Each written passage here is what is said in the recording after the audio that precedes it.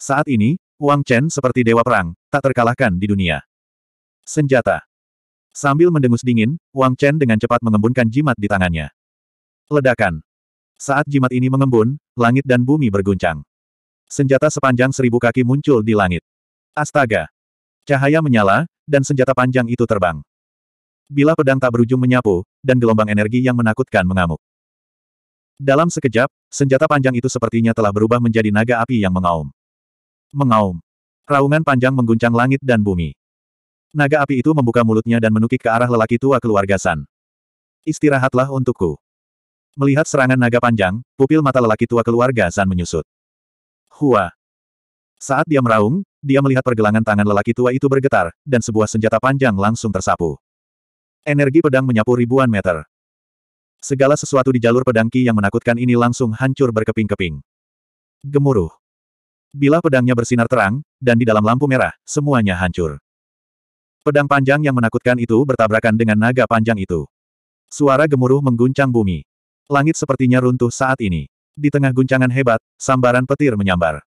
Kehampaan berputar, dan hujan turun deras. Pada saat ini, seluruh dunia tampak sangat kejam. Ledakan. Gelombang energi meledak, berubah menjadi pelangi panjang yang membubung ke langit, menghilang ke langit. Hua. Awan gelap di langit tertembus pada saat berikutnya. Gelombang energi yang tak ada habisnya menyapu, menerangi sembilan langit dan menghancurkan cakrawala. Semua petir sepertinya hancur saat ini. Hujan deras berhenti, dan dunia menjadi sunyi senyap. Dalam keheningan seperti itu, ke mana pun gelombang energi lewat, deru angin, dan suara amukan di War City begitu jernih dan memekakkan telinga. Debu memenuhi langit. Pada saat ini, sosok Wang Chen dan lelaki tua keluarga Zan tenggelam di langit cahaya, gelombang energi yang dahsyat, dan debu yang tak ada habisnya. Semua orang yang hadir melebarkan mata mereka saat menatap ruang buram. Apa yang terjadi di dalam? Membunuh. Di tengah keheranan dan antisipasi semua orang, raungan marah tiba-tiba muncul dari debu. Sesaat kemudian, dua berkas cahaya merah melesat ke langit. Aura yang tak tertandingi menyebar dengan cepat. Ke mana pun aura menakutkan itu lewat, semua makhluk hidup seakan harus tunduk. Desir-desir. Di tengah suara gemuruh, dua sosok bergegas keluar dari debu dan terbang ke langit. Yang satu menjelma menjadi naga, sedangkan yang lainnya menjelma menjadi harimau. Naga dan harimau itu terjerat, bentrok sengit di kehampaan. Gemuruh. Serangkaian suara benturan keras terdengar. Cahaya yang menyilaukan membuat orang tanpa sadar menutup mata. Pupu. Darah berceceran di mana-mana. Setelah tabrakan ini, ruang bergetar dan kedua sosok itu mundur dengan cepat. Lapisan gelombang ki yang besar itu, meluas dalam kehampaan, betapa spektakulernya itu. Hanya setelah keduanya mundur beberapa ribu meter barulah mereka berhasil menstabilkan diri.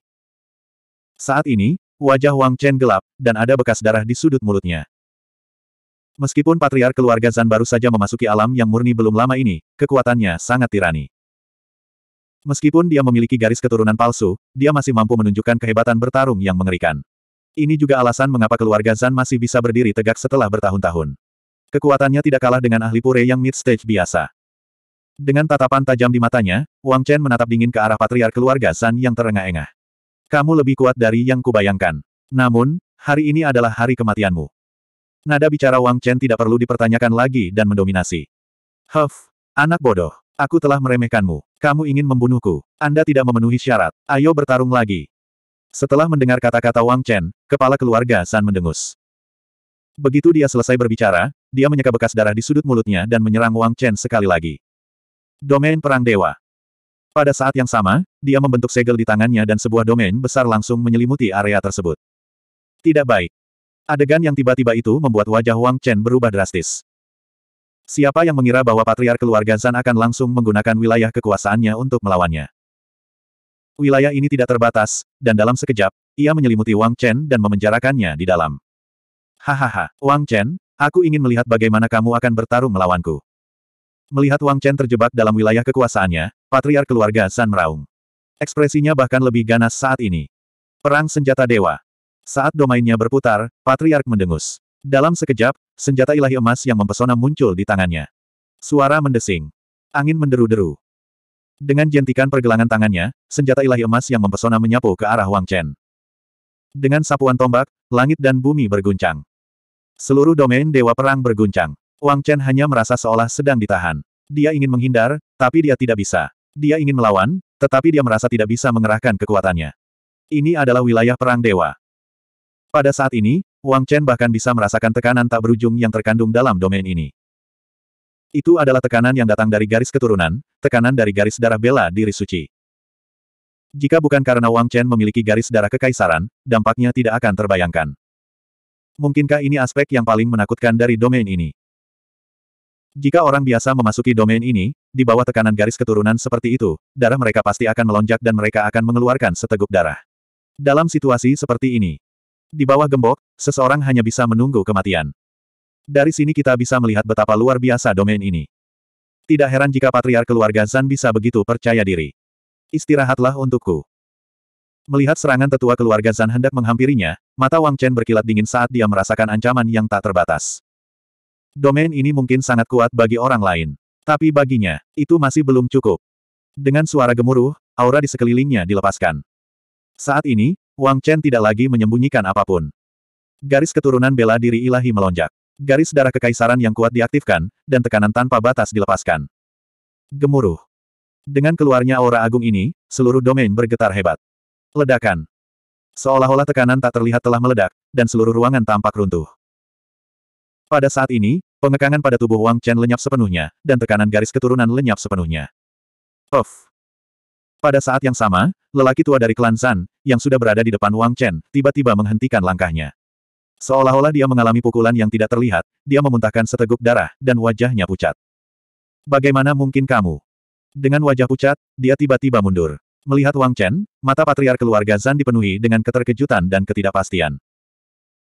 Saat ini, domain yang selama ini ia banggakan mulai menunjukkan tanda-tanda kehancuran, seolah-olah akan lepas dari kendalinya. Saat ini, dia benar-benar merasa takut.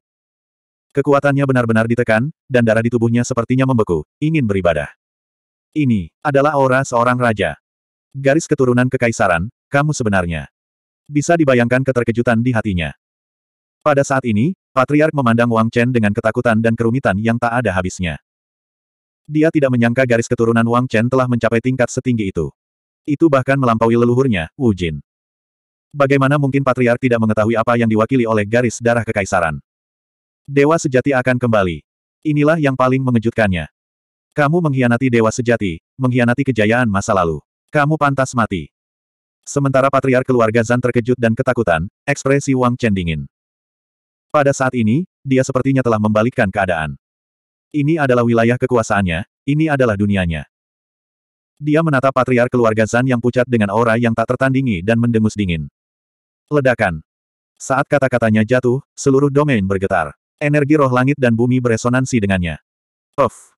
Darah meledak di tubuh patriark keluarga San. Tubuhnya terbang mundur, dan dia mengeluarkan seteguk darah lagi. Hua. Tombak emas yang tak tertandingi di tangan patriark keluarga Zan meredup di bawah tekanan garis darah kekaisaran Wang Chen, seolah-olah bisa menghilang kapan saja.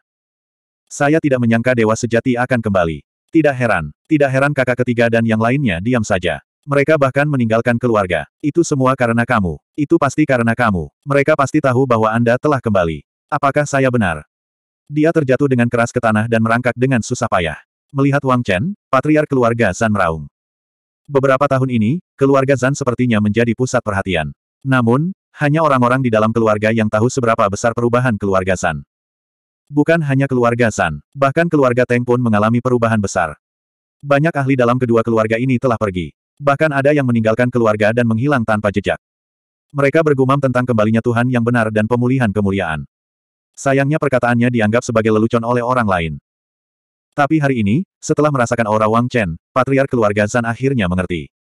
Dewa sejati telah kembali. Ini bukan sebuah lelucon. Sebaliknya, itu adalah lelucon terbesar yang pernah ada. Dewa sejati telah benar-benar kembali. Tak heran jika banyak orang meninggalkan keluarga Teng dan San. Sebab, seperti yang dikatakan Wang Chen, keluarga Teng dan Zan telah berubah selama bertahun-tahun. Bahkan keluarga lainnya telah berubah. Mereka tidak lagi percaya pada Tuhan yang sejati.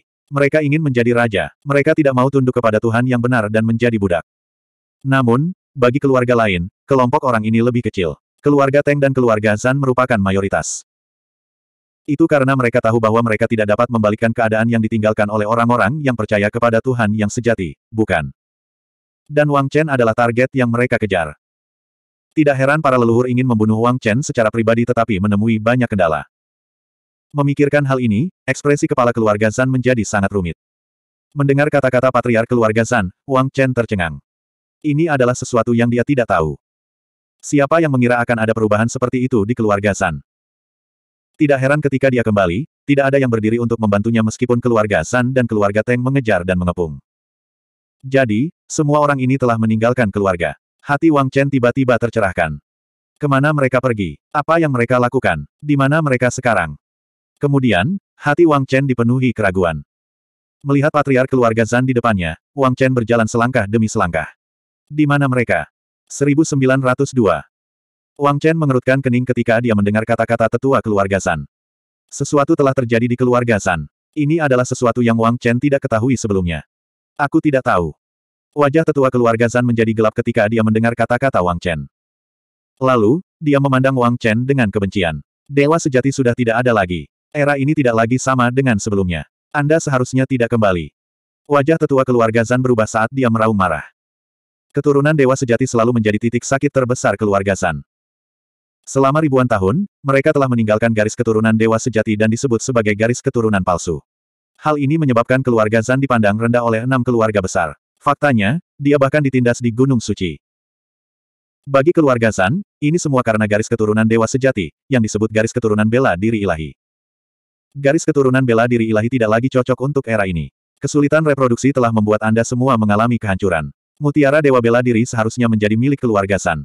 Kami adalah orang-orang yang dapat membawa kemuliaan bagi garis darah bela diri ilahi. Pada saat yang sama, tetua keluarga Zan berkata dengan enggan. Keturunan dewa sejati sangat kuat. Terus, ini bukan lagi masa lalu. Di era ini, ada banyak ahli, tetapi garis darah bela diri suci sudah mulai menurun. Karena sulitnya reproduksi, karena perang kuno dan abad pertengahan, jumlah pewaris garis darah bela diri ilahi telah berkurang. Karena itu, garis keturunan palsu ini lahir. Reproduksi mereka tidak kalah dengan manusia biasa. Hanya mereka yang bisa membawa garis darah bela diri suci kembali ke kejayaannya. Mereka tidak meninggalkannya, mereka mewarisinya. Jika bukan karena mereka, apakah garis darah bela diri suci masih ada setelah ribuan tahun? Mereka tidak pernah menyesali apa yang telah mereka lakukan. Bagi tetua ini, Wang Chen seharusnya tidak muncul. Keturunan dewa sejati seharusnya tidak muncul lagi. Jika mutiara dewa bela diri ada di tangan keluarga Zan, bagaimana keluarga Zan bisa jatuh ke kondisi seperti itu? Aku akan membunuhmu. Selama aku membunuhmu, tidak akan ada lagi garis keturunan palsu. Tetua itu meraung seperti binatang buas dalam kegilaannya. Dengan kembalinya garis keturunan dewa sejati, kata-kata dari garis keturunan dewa palsu dapat ditampilkan sekali lagi. Namun, jika mereka membunuh Wang Chen dan tidak ada yang disebut garis darah dewa sejati, maka garis darah palsu mereka adalah garis darah sejati. Begitu mereka menemukan mutiara bela diri ilahi, mereka akan dapat kembali ke puncaknya. Membunuh. Dengan raungan marah, lelaki tua itu menyerang Wang Chen lagi dengan tombak tumpul di tangannya. Kamu melebih-lebihkan dirimu sendiri. Melihat pria tua yang menyerangnya, mata Wang Chen bersinar dengan cahaya dingin. Orang tua ini hanya memutarbalikkan kata-kata dan memaksakan logika. Setelah mengkhianati Dewa Sejati, dia masih berani bertindak terbuka. Garis keturunan ini telah menganggap remeh kemuliaan yang diberikan kepada mereka oleh garis darah bela diri suci. Mereka menggigit tangan yang memberi mereka makan. Orang seperti itu harus dibunuh. Domain di depannya tidak lagi membatasi Wang Chen. Di bawah kekuatan garis keturunan kekaisaran, domain ini secara bertahap dikendalikan oleh Wang Chen. Apakah tetua klan Zan masih ingin membunuh Wang Chen? Aula petapa sembilan surga. Dengan pemikiran itu, Wang Chen membentuk segel di tangannya dan berteriak dengan suara yang dalam. Dia ingin menggantikannya. Pasti ada tempat bagi lelaki tua ini di antara para arahat aula suci. Ditemani oleh raungan marah Wang Chen, ruangan itu terdistorsi. Domain Dewa Perang mulai terdistorsi dan runtuh pada saat ini. Segera, itu digantikan oleh Nine Heavens Sage Hall. Di bawah keagungan garis keturunan kekaisaran Wang Chen, domain Dewa Perang tidak lagi di bawah kendali tetua klan San. Oleh karena itu, menghadapi pengganti Wang Chen, ia tidak menolak sama sekali. Bahkan ada perasaan aneh menyebar di hati Wang Chen. Astaga! Saat domain Dewa Perang menghilang, tetua klan Zan memuntahkan seteguk darah. Wajahnya tiba-tiba menjadi pucat. Tombak panjang di tangannya juga telah menghilang. Sosoknya tiba-tiba berhenti, seolah seluruh kekuatannya telah tersedot dalam sekejap. Penindasan garis darah. Di dalam aula sage sembilan surga, Wang Chen berdiri dengan bangga seperti dewa perang. Api burung vermilion menyala terang di sekujur tubuhnya. Aura garis keturunan yang tak ada habisnya menyapu lelaki tua itu saat ini. Di bawah aura garis keturunan yang kuat ini, lelaki tua itu berjuang dalam kesakitan. Dampak penindasan garis keturunan Wang Chen terhadap garis keturunan semu klan Zan bukanlah sesuatu yang bisa dibayangkan orang biasa. Penindasan garis keturunan ini menyebabkan wajah tetua klan Zan berubah bentuk. Dia merasa darahnya membeku, dan detak jantungnya sepertinya berhenti. Di langit, sepertinya ada tangan tak kasat mata yang menahannya dengan paksa. Jika dia tidak melangkah ke alam yang murni dan menjadi lebih kuat, dia pasti sudah tertekan oleh penindasan garis keturunan ini, mengeluarkan darah dari ketujuh lubang dan jatuh ke dalam situasi putus asa. Bahkan dengan kekuatannya yang kuat sebagai pendukung, pada saat ini, dia masih terlihat sangat kesakitan. Penindasan Arhat Di bawah tekanan garis keturunan, Wang Chen tidak peduli dengan tetua klan Zan yang sedang berjuang. Dia membentuk segel lain di tangannya dan berteriak dengan suara yang dalam. Astaga! Ditemani oleh raungan marah Wang Chen, tiga sosok muncul. Di antara mereka, dua adalah arahat yang telah diubah oleh orang-orang kuno. Adapun orang lain, itu tentu saja adalah Fin Elepan. Mereka bertiga berubah menjadi arhat dan dengan kekuatan mereka yang kuat, mereka langsung bergegas ke depan tetua klan San. Karena kekuatan Wang Chen, ketiganya sekarang dibatasi pada jajaran alam yang murni setengah langkah. Namun, itu sudah cukup. Di bawah tekanan garis keturunan, tetua klan Zan merasa kesulitan menghadapi tiga ahli alam yang murni setengah langkah ini. Penindasan energi suci. Saat para arhat muncul, Wang Chen mengerahkan energi suci yang tak terbatas untuk menekan mereka. Seorang pejuang alam yang murni yang kuat adalah apa yang dibutuhkan Wang Chen.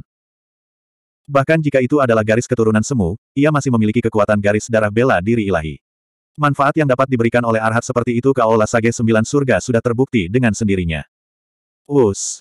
Angin kencang menyapu dan ombak besar membumbung ke langit. Aula Sage Sembilan Surga menjadi heboh saat ini. Garis keturunan di tubuhnya dipenjara, dan energi suci dari dunia luar terus mengalir masuk dan mengikis tubuhnya. Penindasan gabungan terhadap tiga arhat. Untuk sesaat, tetua klan Zan berada dalam situasi putus asa. Ark. Dia meraung dan meronta dengan panik. Mata tetua klan Zan memerah saat dia menyerang seperti binatang buas. Namun, itu sangat sia-sia. Bagaimana bisa semudah itu menghilangkan penindasan garis keturunan? Bahkan setelah ribuan tahun, sang master tetaplah sang master. Seorang budak ditakdirkan menjadi budak.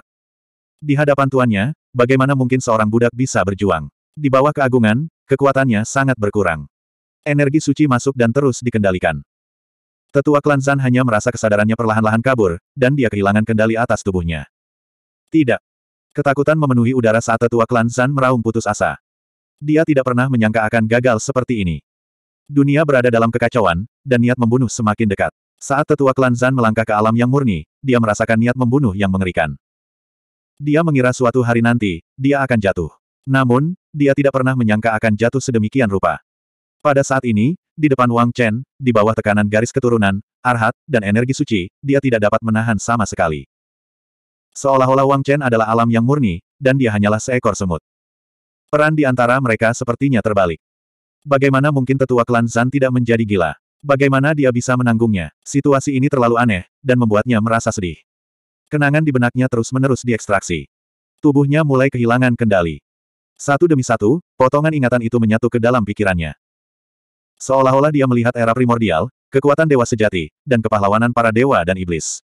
Dia berulang kali melihat kejayaan klan Zan, yang pernah memiliki garis keturunan dewa sejati.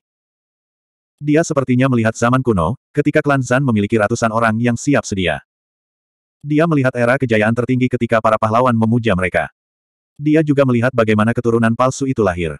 Dia bahkan melihat bagaimana keturunan palsu meninggalkan garis keturunan dewa sejati dan mengejar mereka sepanjang jalan. Adegan seperti itu muncul terus-menerus, menyebabkan tetua klan Zan secara bertahap jatuh ke dalam kekacauan. Tidak. Setelah jangka waktu yang tidak diketahui, tetua itu memeluk kepalanya dengan kedua tangan dan hampir kehilangan kesadaran. Dia jatuh ke tanah, berguling dan menjerit. Air mata memenuhi matanya. Dia sepertinya merasakan penyesalan yang tak terbatas dan dosa yang tak terbatas. Aku berduka atas kemuliaan, mengkhianati dewa sejati, mengkhianati klan San. Ke mana aku harus pergi? Apakah masih ada tempat untukku di dunia ini? Di tengah perjuangannya, sang sesepuh berteriak, bingung dan sedih. Berintegrasi ke dalam aula orang suci, jadilah seorang arhat, dan raih kehidupan abadi. Menghadapi penderitaan dan penderitaan lelaki tua itu, Wang Chen hanya berkata dengan tenang. Kata-kata ini sepertinya berubah menjadi nyanyian Buddha yang menyatu dengan pikiran orang tua itu. Berubah menjadi Buddha dan menjadi arhat. Mata orang tua itu kosong. Dia perlahan menjadi tenang dan bergumam. Saat suaranya turun, lelaki tua itu perlahan duduk. Ekspresinya berangsur-angsur menjadi rileks, seolah-olah dia telah berintegrasi ke dalam dunia ini. Ledakan. Memanfaatkan momen ini, energi suci yang tak terbatas melonjak masuk. Perlahan-lahan, cahaya keemasan menyelimuti si tua, dan sosoknya menghilang tanpa jejak. Di aula orang suci sembilan surga, nyanyian Buddha memenuhi udara, dipenuhi dengan aura suci dan penuh keberuntungan. Setelah jangka waktu yang tidak diketahui, ketika cahaya menghilang, sosok itu akhirnya muncul lagi di hadapan Wang Chen. Saat ini, ekspresinya tenang, dan wajahnya penuh keagungan dan kebenaran.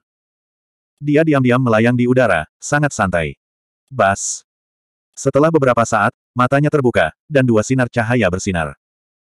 Cahayanya tampak menyapu setiap sudut aula orang suci. Arhat, kembali. Dalam kehampaan, sebuah suara agung terdengar. Ledakan. Saat suara itu jatuh, aula suci sembilan surga bergetar hebat, dan angin serta awan melonjak. Ini. Di tengah keterkejutan tersebut, mata Wang Chen membelalak, memperlihatkan ekspresi ngeri. Di masa lalu, Wang Chen telah menaklukkan arhat yang tak terhitung jumlahnya. Sepanjang jalan, banyak sekali arhat yang binasa dan mati. Sekarang, hanya tersisa tiga. Termasuk tetua klan Zan saat ini, hanya ada empat arhat. Selama periode ini, Wang Chen telah mengalami banyak adegan menundukkan arhat. Tapi kali ini sangat berbeda.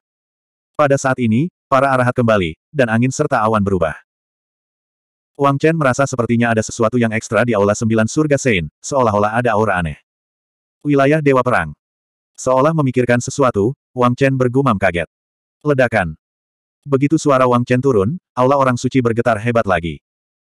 Dalam sekejap mata, aura agung menyelimuti aula orang suci. Jadi begitu. Wang Chen tercengang. Karena pada saat ini, bukankah dia merasakan aura domain Dewa Perang? Tanpa diduga, saat menyempurnakan tetua klan Zan, kali ini, Wang Chen juga menyempurnakan domain Dewa Perang. Domain ini diintegrasikan ke dalam Nine Heavens Saint Hall. Hal ini membuat ruang yang awalnya bermartabat dan suci ini menjadi sedikit lebih mendominasi, sedikit lebih kuat. Datang. Tanpa sadar, Wang Chen mengulurkan tangannya dan berteriak. Bas. Di tengah raungan kemarahan, energi kekacauan di tubuh Wang Chen dengan cepat keluar, dan dalam sekejap mata, tombak emas mengembun di tangannya. Ini membuat Wang Chen menghirup udara dingin. Seperti yang diharapkan. Setelah terkejut, Wang Chen sangat gembira. Meskipun dia tidak tahu apa yang sedang terjadi saat ini. Namun, Wang Chen sangat jelas bahwa dia telah memperoleh kesempatan kali ini. Kali ini, ketika para arhat kembali, Wang Chen mendapat kesempatan. 1903. Merasakan perubahan di Nine Heavens Sage Hall saat ini, Wang Chen terkejut. Ini harus menjadi peluang besar. Jika saya dapat sepenuhnya mengintegrasikan domain Dewa Perang, kekuatan Aula Petapa Sembilan Surga pasti akan meningkat pesat. Memikirkan hal ini, Wang Chen mau tidak mau ingin mencoba. Meskipun Wang Chen benar-benar ingin mempelajari sembilan surga Sage Hall yang terintegrasi saat ini. Jelas sekali, dia tidak punya waktu. Bagaimana keadaan dunia luar? Saat ini, dia tidak yakin. Kakak, Jiang Chen Yuan, dan yang lainnya masih berperang melawan keluarga San. Situasinya tegang. Adapun perubahan di bidang penelitian, dia hanya bisa menunggu masa depan. Memikirkan hal ini, Wang Chen segera menyingkirkan domain tersebut dan kembali ke kota perang. Asteris Hua, Asteris. Dunia berguncang saat sosok Wang Chen kembali dari domain. Yang mengejutkannya, saat ini, tidak ada pertempuran di kota perang seperti yang dia bayangkan. Wang Yan dan yang lainnya sepertinya menemui jalan buntu dengan keluarga San. Dan kembalinya Wang Chen membuat jantung semua orang berdebar kencang. Wang Chen kembali. Tidak mungkin, leluhur keluarga San belum kembali. Astaga, tampaknya leluhur tua keluarga San telah gagal. Wang Chen telah membantai ahli yang murni lagi. Keluarga Zan dalam bahaya. Mereka tidak dapat bersaing dengan Wang Chen sekarang. Dengan kembalinya Wang Chen, terjadi keributan di kota perang untuk sementara waktu.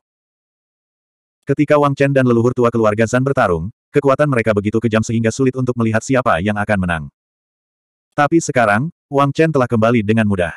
Leluhur tua keluarga Zan belum kembali. Hasilnya jelas sekali. Leluhur tua. Saat melihat kembalinya Wang Chen, semua orang dari klan Zan menjadi pucat. Bagaimana mungkin mereka tidak tahu bahwa leluhur tua belum kembali? Memikirkan kejatuhan leluhur tua, banyak orang yang ketakutan, bahkan ada yang menangis terbahak-bahak. Jatuhnya ahli yang murni akan membawa kerusakan yang tak terbayangkan pada keluarga San. Wang Chen, keluarga San tidak akan beristirahat sampai kamu mati. Di antara tangisan dan jeritan, serangkaian raungan marah datang dari keluarga San. Kerumunan menjadi gelisah, dan niat membunuh mereka tidak terbatas. Nenek moyang lama telah jatuh. Pada saat ini, Keluarga Zan terjerumus ke dalam kesedihan dan kemarahan yang tak berkesudahan. Namun, Wang Chen hanya menunjukkan senyuman dingin saat menghadapi teriakan tersebut.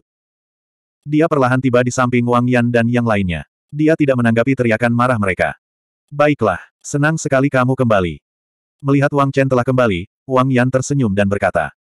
Wajahnya dipenuhi rasa bangga. Ini adalah adik laki-lakinya, sebuah eksistensi yang membantai makhluk yang murni. Saatnya menghancurkan klan San. Mendengar kata-kata Wang Yan, Wang Chen berkata dengan lemah. Kalau begitu bunuh. Menghadapi kata-kata Wang Chen, Wang Yan hanya berkata. Jika Wang Chen berkata bunuh, maka bunuhlah. Selama bertahun-tahun, Wang Yan selalu berdiri di belakang Wang Chen. Ke mana pun Wang Chen menunjuk, dia akan menaklukkan. Bahkan jika itu adalah segunung pisau dan lautan api, bahkan jika dia harus membantai ribuan orang, dia tidak pernah ragu-ragu. Ini karena Wang Yan tidak melupakan perkataan ayah dan kakeknya sebelum mereka meninggal. Dia tidak melupakan harapan keluarga terhadap Wang Chen. Dia sangat yakin bahwa Wang Chen dapat memimpin keluarga Wang ke puncak dan mengembalikan kejayaan. Dan dia, Wang Yan, harus menjadi tombak di tangan Wang Chen. Ke mana pun tombak itu menunjuk, langit dan bumi akan hancur. Begitu mereka selesai berbicara, aura mereka melonjak. Hahaha, aku datang. Mendengar kata-kata Wang Chen dan Wang Yan, Jiang Chenyuan adalah orang pertama yang kehilangan kesabarannya. Sebelumnya, dia ingin bertarung, tapi itu hanya karena dia mengkhawatirkan Wang Chen. Di sisi lain, itu juga karena Wang Yan menghentikannya. Jadi, Jiang Chenyuan tidak punya pilihan selain bertahan. Sekarang, bagaimana dia bisa tertinggal? Ledakan. Tombak di tangannya tersapu, langsung mengguncang langit dan bumi. Menabrak. Ruang terkoyak, cahaya perak menyala, dan darah berceceran. Ah! Dalam sekejap mata, di bawah serangan ini, beberapa anggota keluarga San tewas. Tidak ada lagi ahli di keluarga San. Kalian semua, datang dan mati. Melihat tidak ada lagi ahli dari keluarga San, Jiang Chenyuan mencibir. Keluarga San, itu dia. Hanya ada satu ahli matahari murni yang bertanggung jawab. Tampaknya mereka benar-benar mengirim terlalu banyak kultivator kuat ke keluarga Teng. Atau lebih tepatnya, Gunung Sainte telah melibatkan terlalu banyak sejarah keluarga San. Bahkan jika ada ahli matahari murni, Wang Chen dan yang lainnya telah bersiap, jadi mereka tidak takut. Terlebih lagi, keluarga Zan tidak memiliki ahli matahari murni. Memikirkan hal ini, Jiang Chenyuan menyerang kerumunan seperti serigala. Membunuh. Pada saat yang sama, Wang Chen, Wang Yan, dan yang lainnya juga menyerbu ke dalam kerumunan. Gemuruh. Angin tinju bertiup, angin palem bertiup, lampu pedang dan bayangan pedang melonjak, dan momentum melonjak. Saat Wang Chen dan yang lainnya menyerbu masuk, keluarga Zan mengalami kekacauan. Tanpa ahli top, bagaimana orang-orang yang tersisa di keluarga Zan bisa melawan serangan Wang Chen dan yang lainnya? Saat ini, Wang Chen dan yang lainnya seperti harimau ganas yang masuk ke kandang domba. Terutama Wang Chen yang memegang senjata origin energi di tangannya. Ke mana pun dia lewat, daging dan darah berceceran dan darah menyembur, mewarnai langit menjadi merah. Kata-kata tetua dari klan Zan membuat Wang Chen semakin tidak bermoral dalam pembunuhannya. Sekarang, orang-orang yang tersisa di keluarga Zan adalah orang-orang yang telah meninggalkan garis keturunan dewa sejati. Orang-orang ini adalah orang-orang yang dibutakan oleh kekuasaan dan keuntungan. Apa gunanya membiarkan orang seperti itu? Di tengah pembantaian itu, Wang Chen berjalan maju. Setiap langkah yang diambilnya merenggut banyak nyawa. Tidak, Ceritan datang satu demi satu. Saat ini, kediaman keluarga Zan telah berubah menjadi lautan darah.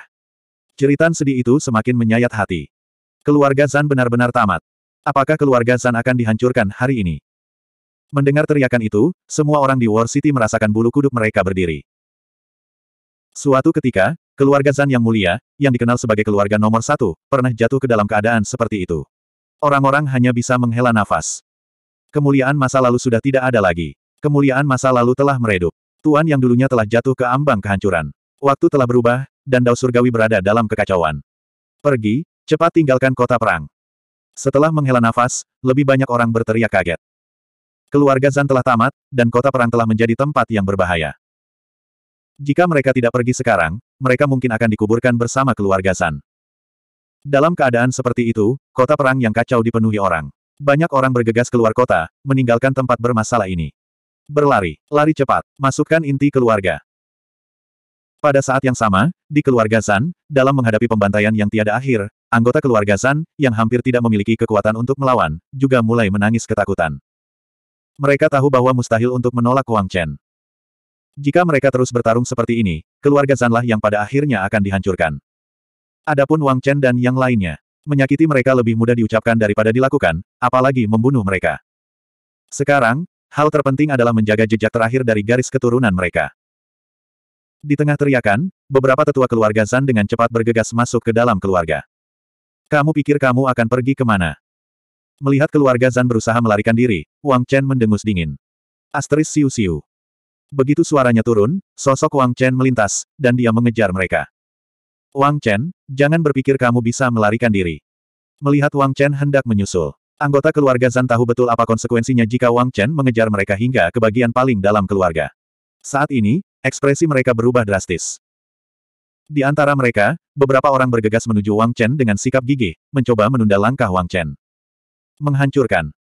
Melihat beberapa sosok yang bergegas ke arahnya, mata Wang Chen berkilat dingin. Dengan teriakan pelan, pedang panjang di tangan Wang Chen menebas secara horizontal. Pu-pu-pu. Darah berceceran, daging dan darah berceceran. Dalam sekejap mata, beberapa orang dipenggal. Bahkan tulang mereka pun tidak tersisa.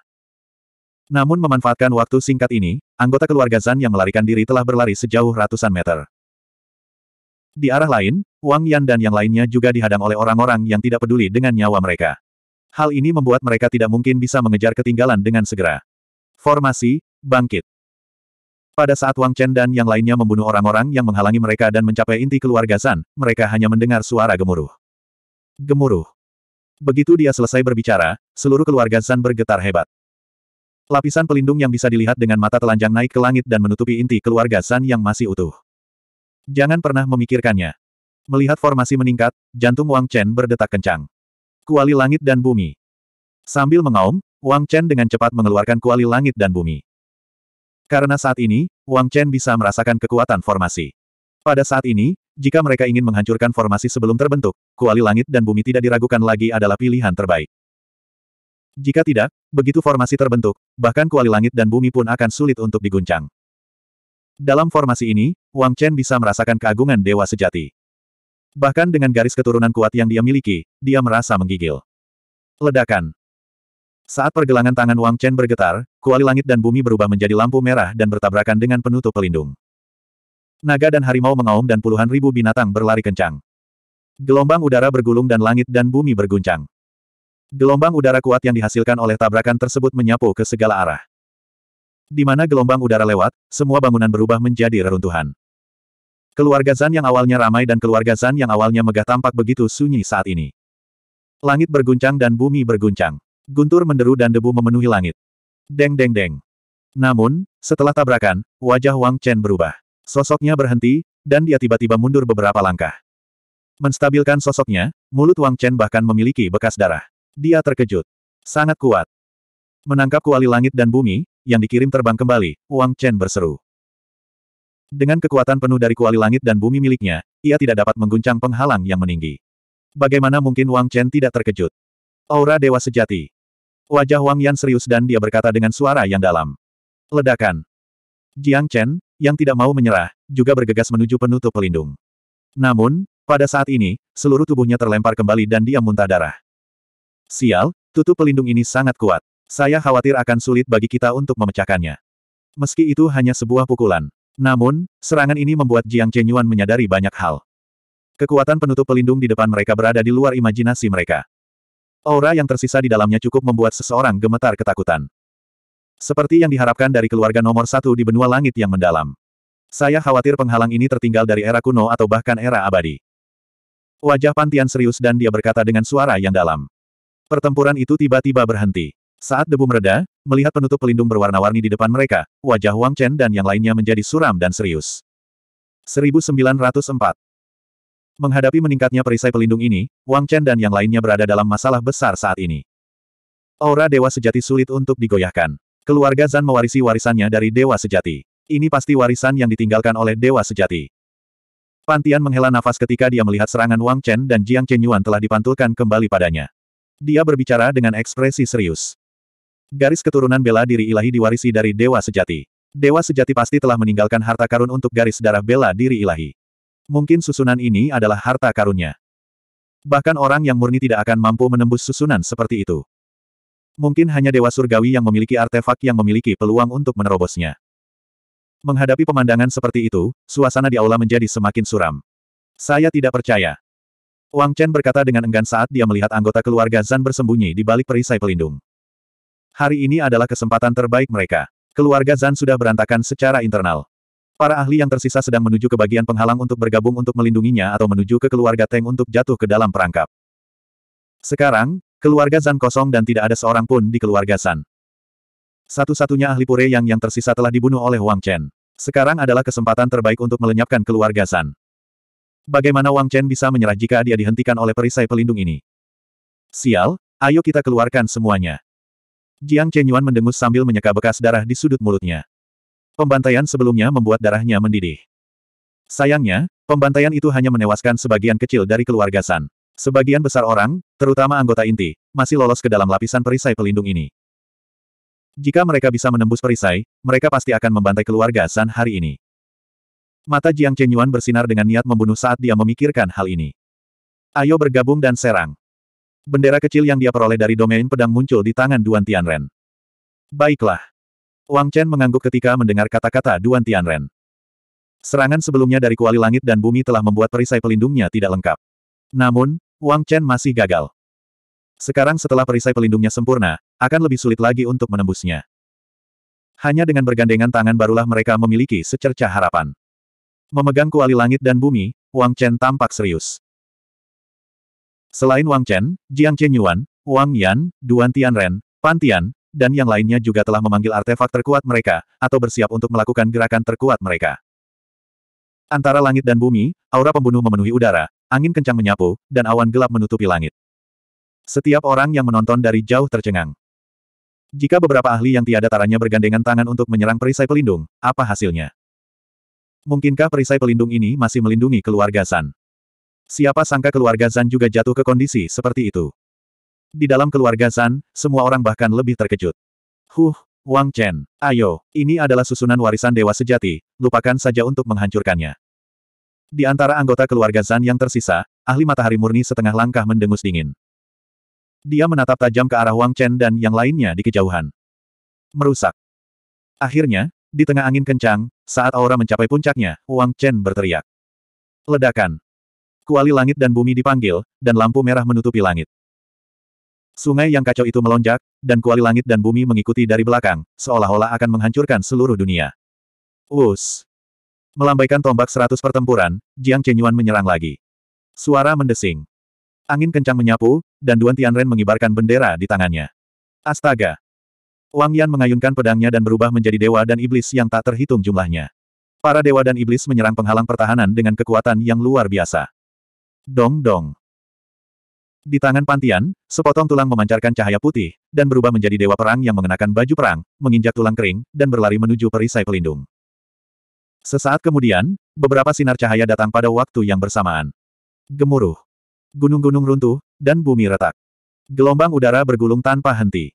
Lapisan gelombang udara menyapu puluhan ribu meter. Seluruh kota perang langsung hancur oleh gelombang-gelombang udara ini. Debu membubung ke langit.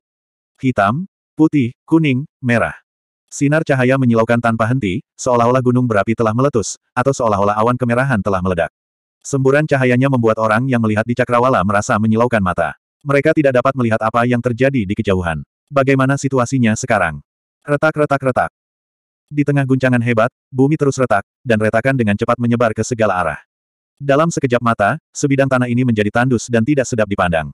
Seolah-olah telah mengalami erosi selama jutaan tahun. Ledakan. Pada akhirnya, gelombang udara yang tak berujung berubah menjadi lingkaran cahaya, membubung ke angkasa. Engah, engah, engah. Darah muncrat, dan wajah mereka dipenuhi ketakutan. Buk buk buk. Setelah serangan itu, Wang Chen dan yang lainnya mundur pada saat yang sama dengan ekspresi ngeri. Kuali langit dan bumi terbang kembali, bendera kecil meredup, tombak seratus pertempuran meredup, dan pedang panjang serta tulang kering menghilang. Adapun penghalang pelindungnya, masih berada di atas wilayah inti keluarga San. Desis. Melihat pemandangan seperti itu, para penonton yang mundur ke cakrawala terkejut. Beberapa dari mereka bergabung, tetapi mereka bahkan tidak bisa menghilangkan penghalang keluarga San. Teknik yang ditinggalkan oleh Dewa Sejati sungguh mengejutkan. Saya khawatir tidak ada perisai pelindung yang lebih kuat dari ini, bukan? Tuhan yang sejati benar-benar tak tertandingi. Sepertinya keluarga San ditakdirkan untuk tidak dihancurkan. Wang Chen dan yang lainnya dalam masalah. Melihat pemandangan seperti itu, para penonton berdiskusi. Di bawah serangan gabungan Wang Chen dan yang lainnya, perisai pelindung hanya sedikit meredup, tapi masih kuat. B. Asteris Jingan. Menstabilkan dirinya, ekspresi Jiang Chen Yuan berubah. Dia tidak bisa menahan diri untuk tidak mengutuk. Siapa sangka meski dengan serangan gabungan seperti itu, mereka tetap gagal. Seberapa kuat lapisan pelindung itu? Melihat Wang Chen, ekspresi Jiang Chenyuan menjadi lebih rumit. Wang Chen adalah pewaris garis keturunan Dewa Sejati. Dia adalah pewaris Dewa Sejati. Tapi sekarang, dia dihentikan oleh formasi yang ditinggalkan oleh Dewa Sejati. Betapa memalukannya hal itu. Sulit untuk dihancurkan. Sepertinya keluarga Zan tidak akan hancur hari ini. Duan Tianren menghela nafas. Kuali langit dan bumi. Mendengar kata-kata mereka, Wang Chen melihat kuali langit dan bumi di tangannya dan mengertakkan gigi. Sekarang, dia masih belum cukup kuat. Jika Wang Chen memasuki negara bagian yang murni dan memurnikan kuali langit dan bumi, dia mungkin bisa menghancurkan perisai pelindung ini. Tapi sekarang, hahaha, Wang Chen, kamu ingin menghancurkan keluarga San. Kamu tidak cukup kuat. Keluarga Wang, tunggu saja kehancuranmu. Sementara Wang Chen tenggelam dalam pikirannya, anggota klan Zan yang telah mendapatkan kembali keseimbangannya setelah keterkejutannya menghela nafas lega. Kemudian, mereka mencibir dan berteriak sekuat tenaga. Kebencian yang mereka miliki terhadap Wang Chen telah berubah menjadi niat membunuh yang tak ada habisnya. Kali ini, jika Wang Chen tidak menghancurkan keluarga Zan, mereka pasti akan menemukan peluang untuk menghancurkan Wang Chen. Selama keluarga Zan masih ada, keluarga Wang tidak akan pernah memiliki hari yang damai. Kamu mendekati kematian. Mendengar perkataan orang-orang ini, wajah Wang Chen menjadi dingin dan dia berteriak dengan marah. Melihat perisai pelindung, Wang Chen sangat marah. Jika dia bisa, dia akan melakukan apa saja untuk menghancurkan perisai ini. Sayangnya, dia tidak bisa melakukannya sekarang. Jadi, Wang Chen hanya bisa menekan semua kemarahan di hatinya. Kita harus menemukan cara untuk menghancurkan perisai pelindung keluarga San. Sambil mengertakkan gigi, Wang Chen berkata dengan suara yang dalam. Selama keluarga Zan tidak hancur, Wang Chen tidak akan merasa nyaman. Namun, kami tidak cukup kuat saat ini. Jika itu masalahnya, sebaiknya kita kembali ke kota raja. Duan Tianren berkata dengan suara yang dalam. Saya baru saja menerima kabar bahwa banyak ahli dari keluarga Teng dan keluarga San telah tiba di kota raja. Mereka tidak kembali ke sini. Kali ini, leluhur keluarga Teng Wushuang secara pribadi mengambil tindakan. Wang Yan memandang Wang Chen dan berkata, Sial, anak-anak nakal ini beruntung. Menurut pendapat saya, kita harus menyegelnya selama satu tahun atau lebih. Saya ingin melihat bagaimana keluarga San bisa bersembunyi. Jika mereka tidak keluar, meski tidak dihancurkan, keluarga Zan tidak akan punya tempat untuk berdiri setelah ini. Mata Jiang Chenyuan berkilat dingin saat dia mendengus. Keluarga Zan adalah salah satu dari enam keluarga besar di benua Suantian. Jika mereka terpaksa bersembunyi di balik perisai pelindung dan tidak berani melawan, mereka pasti akan menjadi bahan tertawaan dunia. Baiklah. Mendengar kata-kata orang-orang ini, Wang Chen ragu-ragu sejenak dan berkata dengan suara yang dalam. Sekarang, sepertinya inilah satu-satunya cara. Saat ini, akan sangat sulit bagi mereka untuk menghancurkan perisai pelindung dalam waktu singkat. Hampir mustahil. Tidak peduli betapa enggannya Wang Chen, dia hanya bisa melepaskan keengganan dan niat membunuh ini. Yang perlu dia khawatirkan sekarang adalah keluarga Wang. Meskipun King Feng dan Qian Yue berada di kota raja, Wang Chen masih khawatir. Bagaimanapun, King Feng dan Qian Yue hanyalah dua orang, tapi kali ini, ada banyak ahli matahari murni yang menyerang kota raja. Di antara mereka, seberapa kuatkah leluhur keluarga Teng? Mengingat kekuatannya, jika dia bisa menangkis King Feng atau Qian Yue, maka kota raja akan berada dalam bahaya. Kalau begitu, aku akan memimpin Pan Klan untuk tinggal di sini dan menutup tempat itu. Kata Pantian ketika dia melihat Wang Chen telah mengambil keputusan. Meskipun mereka tidak dapat menghancurkan keluarga Zan untuk saat ini, itu seperti yang dikatakan Jiang Chenyuan. Bahkan jika mereka tidak bisa membantai keluarga Zan, mereka pasti akan membuat keluarga Zan membayar harga yang menyakitkan. Mereka pasti akan membuat keluarga Zan kehilangan seluruh gengsinya. Jadilah itu. Jiang Chenyuan, tetap di sini dan bantu senior Pantian. Kakak, Duan Tianren, dan aku akan kembali ke kota raja. Setelah mendengar kata-kata Pantian, Wang Chen merenung sejenak sebelum menjawab. Hehe, tidak masalah. Saya jamin seekor lalat pun tidak akan bisa terbang keluar dari keluarga Zan. Jiang Chenyuan mencibir. Perisai pelindung keluarga Zan tidak hanya menutup serangan Wang Chen. Itu juga menutup kemungkinan mereka merobek ruang untuk meninggalkan tempat ini. Karena itu masalahnya, dia akan melihat berapa lama orang-orang ini bisa tinggal di dalam. Jiang Chenyuan dan orang-orang ini bertekad. Hati-hati, ahli keluarga Zan dan Teng akan kembali. Wang Yan sepertinya memikirkan sesuatu dan berkata dengan cemas. Jika mereka kembali ke kota raja dan melindunginya, para ahli keluarga Zan dan Teng pasti akan kembali ke kota raja. Pada saat itu, Jiang Chenyuan, Pantian, dan para ahli Pan Klan akan berada dalam bahaya. Jangan khawatir, sebelum mereka tiba, kami pasti akan meninggalkan tempat ini. Jika ada kesempatan, saya akan membawa beberapa dari mereka. Jiang Chenyuan menyipitkan matanya dan mendengus dingin. Meskipun dia bukan ahli matahari murni, kekuatan Jiang Chenyuan jelas tidak lemah. Ingin membunuhnya, itu tergantung pada apakah ahli keluarga Teng dan Zan memiliki kemampuan untuk melakukannya. Faktanya, Jiang Chenyuan tidak akan membiarkan orang-orang yang kembali ini mendapatkan kemudahan. 1905 Wang Chen telah meninggalkan kota perang bersama Wang Yan dan Duan Tianren. Namun, kepergian Wang Chen tidak menyelesaikan krisis keluarga San. Karena Jiang Chenyuan tetap tinggal. Tombak panjang itu bersinar dengan cahaya dingin. Karena Pantian dan banyak ahli Pan Klan tetap tinggal. Keluarga Zan masih terjebak dalam perisai pelindung. Meskipun perisai itu dapat melindungi keluarga Zan, perisai itu tidak dapat mengusir Jiang Chenyuan dan Pantian. Selama Jiang Chenyuan dan Pantian tidak pergi, keluarga Zan masih dalam bahaya. Tidak ada seorang pun di keluarga Zan yang bisa bersaing dengan keduanya. Menghadapi pemandangan seperti itu, keluarga Zan terdiam. Mereka penuh dengan keluhan tetapi tidak punya tempat untuk melampiaskannya. Melihat situasi seperti itu, orang-orang yang menonton dari Cakrawala terkejut. Keluarga Wang telah meninggalkan metode seperti itu. Keluarga Zan telah kehilangan muka. Keluarga Zan, salah satu dari enam keluarga besar, dulunya mulia, pernah menjadi keluarga nomor satu, tapi sekarang telah jatuh ke kondisi seperti itu. Kali ini, jika keluarga Zan bersembunyi di dalam dan membiarkan keluarga Wang melakukan ini, martabat mereka akan terpuruk. Melihat Wang Chen dan yang lainnya pergi, tetapi keluarga Zan masih dalam situasi yang sulit, semua orang tidak bisa menahan diri untuk tidak menghela nafas. Keluarga yang dulunya nomor satu telah jatuh ke kondisi seperti itu. Bagaimana mungkin mereka tidak menghela nafas? Kota perang telah dihancurkan, keluarga Zan telah disegel. Keluarga Zan bersembunyi di balik perisai pelindung, babak belur dan kelelahan. Keluarga nomor satu telah jatuh. Pada hari itu, apa yang terjadi di kota perang menyapu seluruh benua langit yang mendalam seperti embusan angin. Untuk sesaat, benua langit yang mendalam terguncang. Semua orang berseru dan menghela nafas. Bajingan, Wang Chen sudah keterlaluan. Di luar Royal City, keluarga Zan menjadi gila ketika mendengar berita dari War City. Nenek moyang keluarga Zan bahkan lebih ganas saat ini. Mata mereka merah saat mereka meraung. Wang Chen terkutuk ini benar-benar menyapu kota perang, membunuh seorang ahli yang murni, dan membunuh banyak anggota keluarga Zan. Pada akhirnya, keluarga Zan terpaksa mengaktifkan perisai pelindung warisan mereka. Sekarang keluarga Zan bersembunyi di dalam, mereka telah menjadi bahan tertawaan dunia. Di manakah wajah nenek moyang keluarga Zan ini? Dahulu kala, keluarga Zan juga merupakan seorang pemimpin, dengan ratusan orang menanggapi satu panggilan. Tapi sekarang, dia terjatuh ke kondisi seperti itu. Setelah mengalami begitu banyak kejayaan, bagaimana nenek moyang klan Zan bisa menerima ini? Jika kita tidak menghancurkan kota raja hari ini, wajah apa yang kita miliki? Memikirkan hal ini, nenek moyang keluarga Zan mengertakkan gigi dan mendengus.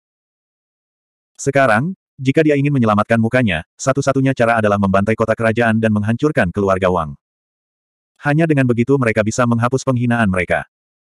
Kalau tidak, bagaimana dia bisa mendapatkan kembali martabatnya dan membuat dunia kagum? Menghadapi situasi seperti itu, leluhur keluarga Zan dipenuhi dengan niat membunuh. Mereka memandang Wang Cheng dengan panik. Wang Chen ini benar-benar berani dan ceroboh. Dia tidak tahu apa yang baik untuknya.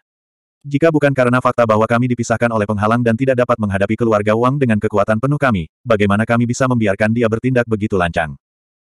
Selain keluarga San, anggota keluarga Teng juga geram.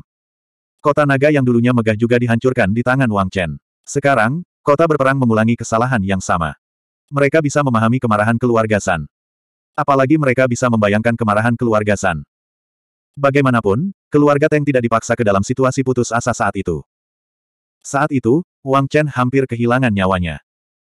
Tapi sekarang, keluarga Zan terpaksa berada dalam situasi putus asa, dan Wang Chen tidak terluka.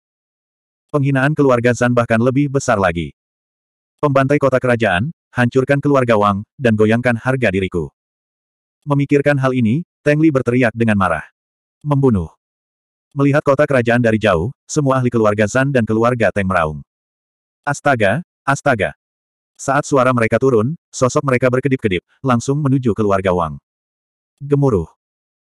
Ketika mereka masih beberapa ratus meter dari kota kerajaan, Teng Li dan yang lainnya, yang memimpin, langsung menyerang. Dengan satu gerakan, seluruh kota kerajaan berada dalam kekacauan. Tidak bagus, keluarga Teng dan San ada di sini.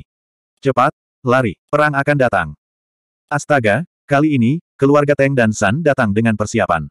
Mereka ingin menghancurkan keluarga Wang sepenuhnya. Di tengah suara gemuruh, guncangan kota, dan debu yang tak berujung, kota kerajaan, pada saat ini, berada dalam keadaan kacau. Ketika perang terjadi, pihak yang paling menderita adalah warga sipil. Cuci darah kota kerajaan. Bantai keluarga Wang. Di tengah teriakan kerumunan, dalam sekejap mata, Teng Li dan yang lainnya membunuh menuju langit di atas kota kerajaan. Dengan dingin memandangi kota yang kacau itu, wajah Teng Li muram. Membunuh. Pada saat ini, mata pemimpin keluarga Zan dipenuhi dengan niat membunuh. Melihat Royal City, dia sepertinya memikirkan berita yang baru saja dia terima. Dia sepertinya memikirkan kota perang yang hancur. Kota perang mereka sudah hancur. Apakah Royal City masih ingin ada? Dia ingin keluarga Wang membayar 10 kali lipat, 100 kali lipat harganya.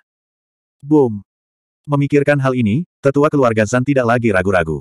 Dengan goyangan di pergelangan tangannya, palu raksasa muncul dari udara tipis dan dengan kejam menghantam tanah. Gemuruh. Gelombang udara bergulung, dan dalam sekejap mata, palu raksasa itu berubah menjadi gunung raksasa. Gunung itu runtuh, dan dunia menjadi tidak berwarna. Niat membunuh yang mengerikan menutupi seluruh langit di atas kota kerajaan. Tidak baik. Di dalam keluarga Wang, Mutaka, Siang Qiankan, dan lainnya, yang baru saja bergegas keluar, terkejut saat melihat pemandangan ini. Jika palu raksasa ini hancur, kota kerajaan pasti akan berubah menjadi reruntuhan. Memikirkan hal ini, Siang Qiankan menjadi cemas. Jika kota kerajaan dihancurkan, kerugian yang akan mereka derita bisa dibayangkan. Dia menoleh dan melihat ke belakang keluarga Wang. Di mana kedua senior itu? Saat ini, satu-satunya orang yang bisa menyelamatkan kota kerajaan adalah mereka berdua. Keluarga San, keluarga Teng. Kenapa kamu harus memaksa kami? Untungnya, kecemasan Siang Qiankan tidak berlangsung lama. Saat palu hendak hancur, sebuah desahan datang dari belakang keluarga Wang. Astaga! Pada saat berikutnya, ketika Siang Qiankan dan yang lainnya masih bersemangat, dua aura menakutkan tiba-tiba melonjak ke langit dari ruang rahasia di belakang mereka. Sosok mereka bersinar, dan dalam sekejap mata, mereka muncul di dalam kota kerajaan, tepat di depan palu raksasa. Merusak. Sosok hitam yang memimpin mengulurkan tangan dan menamparkan palu, berteriak dengan suara yang dalam. Kedengarannya seperti tamparan sederhana, namun langsung menarik energi jalan surgawi yang tak ada habisnya. Di dalam kehampaan, jejak-jejak jalan agung terlihat jelas. Ledakan. Tamparan ini tanpa ampun mendarat di palu raksasa. Ledakan yang memekakkan telinga terdengar, dan gelombang udara yang tak berujung meledak. Terlihat dengan mata telanjang, di dalam kehampaan, jejak-jejak jalan agung berpotongan dan meledak. Bas! Di bawah serangan energi jalur agung, palu raksasa itu berhenti dengan tiba-tiba. Pada saat berikutnya, ia mengeluarkan tangisan sedih saat diledakkan. Gelombang udara itu melonjak ke langit, tapi tidak membahayakan kota kerajaan sama sekali. Buk buk buk. Di bawah pukulan ini, sosok ketua keluarga Zan membeku, dan dia tiba-tiba mundur. Itu kalian. Saat gelombang udara meledak, Teng Li menenangkan diri dan melihat sosok hitam putih di depannya dengan ekspresi jelek. Terakhir kali, kedua sosok inilah yang menghentikan Teng Li dan yang lainnya membantai mereka. Kalau tidak, keluarga Wang pasti sudah lama hancur. Sekarang, kedua orang ini muncul kembali. Bagaimana mungkin Teng Li tidak marah? Leluhur, dua orang inilah yang menghalangi jalan keluarga Teng dan keluarga San. Setelah ekspresinya berubah, Teng Li, yang mengetahui kekuatan King Feng dan Ming Yue, dengan cepat berbalik dan melihat leluhur keluarga Teng. Mendengar perkataan Teng Li, sesosok tubuh keluar dari belakang kerumunan. Orang ini memiliki rambut putih dan wajah awet muda, tetapi usianya tidak dapat diketahui. Namun, matanya sepertinya dipenuhi jejak waktu. Sekilas tak berdasar, dan membuat hati orang bergetar. Tatapannya seolah mampu menembus ruang dan waktu serta menyapu zaman. Datang ke depan orang banyak, orang tua itu menyipitkan matanya. Kalian berdua berasal dari zaman kuno. Orang tua itu bertanya dengan ekspresi serius. Pukulan sebelumnya tampak sederhana, tapi siapakah yang lebih tua? Dia secara alami dapat merasakan bahwa pukulan itu berbeda dari yang lain. Pria dan wanita di depannya jelas merupakan kultivator yang kuat. Mendengar kata-kata tetua dan melihat leluhur keluarga Teng yang berdiri di depan mereka, murid King Feng dan Ming Yue menyusut. Kamu pernah ke medan perang itu? King Feng dan Ming Yue bertanya dengan suara yang dalam. Karena mereka bisa merasakan aura medan perang itu dari leluhur keluarga Teng. Meskipun ingatan itu disegel oleh Dao Surgawi. Namun perasaan akrab itu tidak akan pernah bisa dilupakan. Menghadapi pemandangan seperti itu, hati kedua orang itu langsung menegang. Ini pasti seorang kultivator yang sangat kuat. Dia juga seseorang yang tersesat seiring berjalannya waktu dan dibutakan oleh surga. Dia jelas bukan seseorang yang bisa dibandingkan dengan Teng Li. Aura itu cukup membuat orang berhati-hati. Medan perang itu. Mendengar kata-kata King Feng dan Ming Yue, leluhur keluarga Teng mengerutkan kening. Matanya tampak melayang seolah sedang memikirkan sesuatu. Berjalannya waktu telah berlalu, dan waktu serta ruang terbalik. Aku, aku tidak ingat. Setelah sekian lama, si tua menghela nafas pelan. Saya meninggalkan wilayah ini selama seribu tahun, dan sekarang setelah saya kembali, zaman telah berubah. Anda seharusnya tidak ikut campur dalam urusan keluarga Wang. Kemudian, ekspresi leluhur keluarga Teng menjadi serius. Kata-katanya ditujukan pada King Feng dan Ming Yue. Kata-kata lelaki tua itu sepertinya telah menyebar ke seluruh kota kerajaan. Mendengar ini, wajah Siang Qiankan dan yang lainnya menjadi gelap. Mereka dipenuhi dengan kemarahan yang benar. Betapa tak tahu malunya. Jika kalian berdua seharusnya tidak ikut campur dalam urusan keluarga Wang, lalu mengapa kalian ikut campur? Mungkinkah keluarga Wang tidak bisa melawan dan hanya bisa membiarkan keluarga Teng dan keluarga San menginjak-injak kita? Huff, betapa tak tahu malunya. Jika itu masalahnya, kamu harus dikubur di dalam tanah dan menghilang. Siang Qiankan, Mutaka, dan yang lainnya berteriak dalam sekejap. Kata-kata leluhur keluarga Teng, Wu Shuang jelas membuat marah semua orang. Dia tinggi dan perkasa, bertindak seolah-olah dia adalah penguasa dunia ini. Apakah dia benar-benar mengira bahwa dia adalah penguasa dunia ini? Belum lagi dia, bahkan pelindung Gunung Sainte pun tidak akan bisa mengucapkan kata-kata seperti itu. Karena dunia ini berada dalam kekacauan, ini adalah tempat di mana para pahlawan bertarung demi supremasi. Karena tempat ini berada dalam kekacauan, maka tentu saja, akan ada banyak penggarap yang kuat. Apa hak yang dimiliki leluhur keluarga Teng untuk meminta orang lain bersembunyi dan membiarkan dia memimpin? Cara berpikir seperti ini, Wei Mian terlalu naif. Kamu mendekati kematian. Mendengar kata-kata Siang Qiankan dan yang lainnya, ekspresi leluhur keluarga Teng tiba-tiba berubah, dan cahaya dingin melintas di matanya. Suara mendesing. Dengan lambaian tangannya, dia mengirimkan telapak tangannya ke arah kota. Ledakan. Gelombang udara meledak, dan dunia seolah-olah sedang runtuh. Di bawah telapak tangan ini, ruang dan waktu terdistorsi, dan kematian memenuhi udara. Gelombang angin berubah menjadi ular panjang yang menyapu keluarga Wang. Satu serangan saja sudah cukup untuk menghancurkan dunia. Ketika seorang kultivator yang kuat marah, darah akan terciprat sejauh ribuan mil. 1906. Kurang ajar. Ekspresi Qian Yue tiba-tiba berubah ketika dia melihat gerakan leluhur keluarga Teng menyapu keluarga Wang. Dengan harum dingin, Qian Yue melambaikan tangannya. Suara mendesing. Cahaya putih menyala, seolah bintang yang tak terhitung jumlahnya telah berkumpul. Dalam sekejap mata, bintang tak berujung di dalam cahaya putih menelan dan memusnahkan ular itu. Gemuruh. Gelombang udara meledak dan membubung ke langit. Serangan leluhur keluarga Teng langsung dinetralkan oleh Qian Yue. Keluarga San, keluarga Teng. Kami berdua berhutang budi pada keluarga Wang dan akan melindungi keluarga Wang selama seratus tahun. Dalam seratus tahun ini, kami akan memastikan bahwa keluarga Wang tidak binasa. Setelah melakukan semua ini, Qian Yue perlahan berjalan dan berbicara dengan tetua keluarga Teng. Kata-katanya sangat mendominasi. Bagaimana jika aku bersikeras menghancurkan keluarga Wang? Mendengar perkataan Qian Yue, leluhur keluarga Teng menyipitkan matanya dan bertanya. Kalau begitu ayo bertarung. Cahaya dingin berkedip di mata Qian Yue. Apakah kamu benar-benar mengira aku, Teng Xuan, takut padamu? Menghadapi kekuatan Qian Yue, leluhur keluarga Teng, Wu Shuang tiba-tiba berteriak. Tak disangka dia, Teng Xuan, pernah mendominasi benua langit yang mendalam. Saat itu, tidak ada yang berani berbicara kepadanya seperti itu. Saat ini, sikap kedua orang ini tentu saja membuat Teng Xuan geram. Teng Xuan. King Feng menyipitkan matanya saat mendengar kata-kata Teng Xuan. Dia datang ke sisi Qian Yue dan berkata, kami bahkan tidak takut dengan generasi Teng Long, apalagi kamu.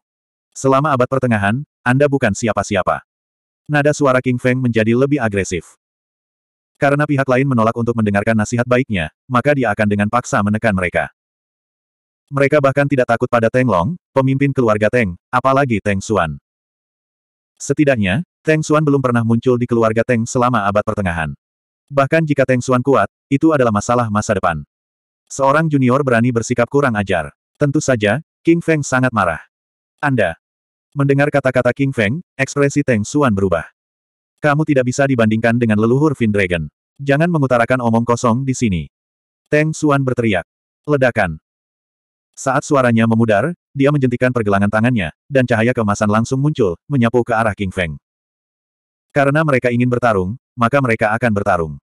Kamu melebih-lebihkan dirimu sendiri. Wajah King Feng membeku ketika dia melihat Fin Dragon menyapu ke arahnya. Pa-pa-pa. Telapak tangan King Feng tumpang tindih, dan auranya melonjak. Kemudian, dia menyerang cahaya keemasan itu tanpa rasa takut. Enyahlah. Saat dia meraung, telapak tangan King Feng dengan kejam menamparkan cahaya keemasan. Dalam sekejap, terjadi semburan cahaya, dan langit serta bumi berguncang. Gelombang udara yang tak berujung menyapu kota raja. Segel. Melihat ini, Qian Yue menjentikkan pergelangan tangannya dan mengeluarkan cermin emas segi delapan. Cermin emas berkembang dan berubah menjadi penghalang surgawi. Dalam sekejap mata, itu melindungi seluruh kota kerajaan. Kalian juga ingin bertarung. Jika itu masalahnya, ayo bertarung. Sudah beberapa ribu tahun sejak dia bergerak. Namun, itu lebih dari cukup untuk menghadapi kalian semua. Qian Yue dengan dingin menatap Teng Li dan yang lainnya. Enam ahli pure yang, namun, enam orang ini mungkin tidak mampu melawan Teng Xuan sendirian. Karena Teng Xuan dihentikan oleh King Feng, dia akan menangani mereka berenam. Tian Feng. Pita berwarna pelangi muncul sebagai tanggapan. Astaga! Pita berwarna pelangi itu seakan menjelma menjadi sungai panjang yang mengalir menuju Teng Li dan yang lainnya. Gemuruh. Saat sungai panjang hendak mencapai Teng Li dan yang lainnya, sungai panjang yang semula jinak tiba-tiba meledak dan berubah menjadi naga dewa berwarna pelangi yang menyapu. Tidak baik. Melihat pemandangan ini dan merasakan ledakan energi yang tiba-tiba, ekspresi Teng Li dan yang lainnya berubah drastis. Enyahlah. Saat mereka meraung, Teng Li dan yang lainnya mencoba yang terbaik untuk melawan. Ledakan. Gelombang udara melonjak, dan cahaya berwarna pelangi tak berujung menutupi langit. Kepulan-kepulan-kepulan.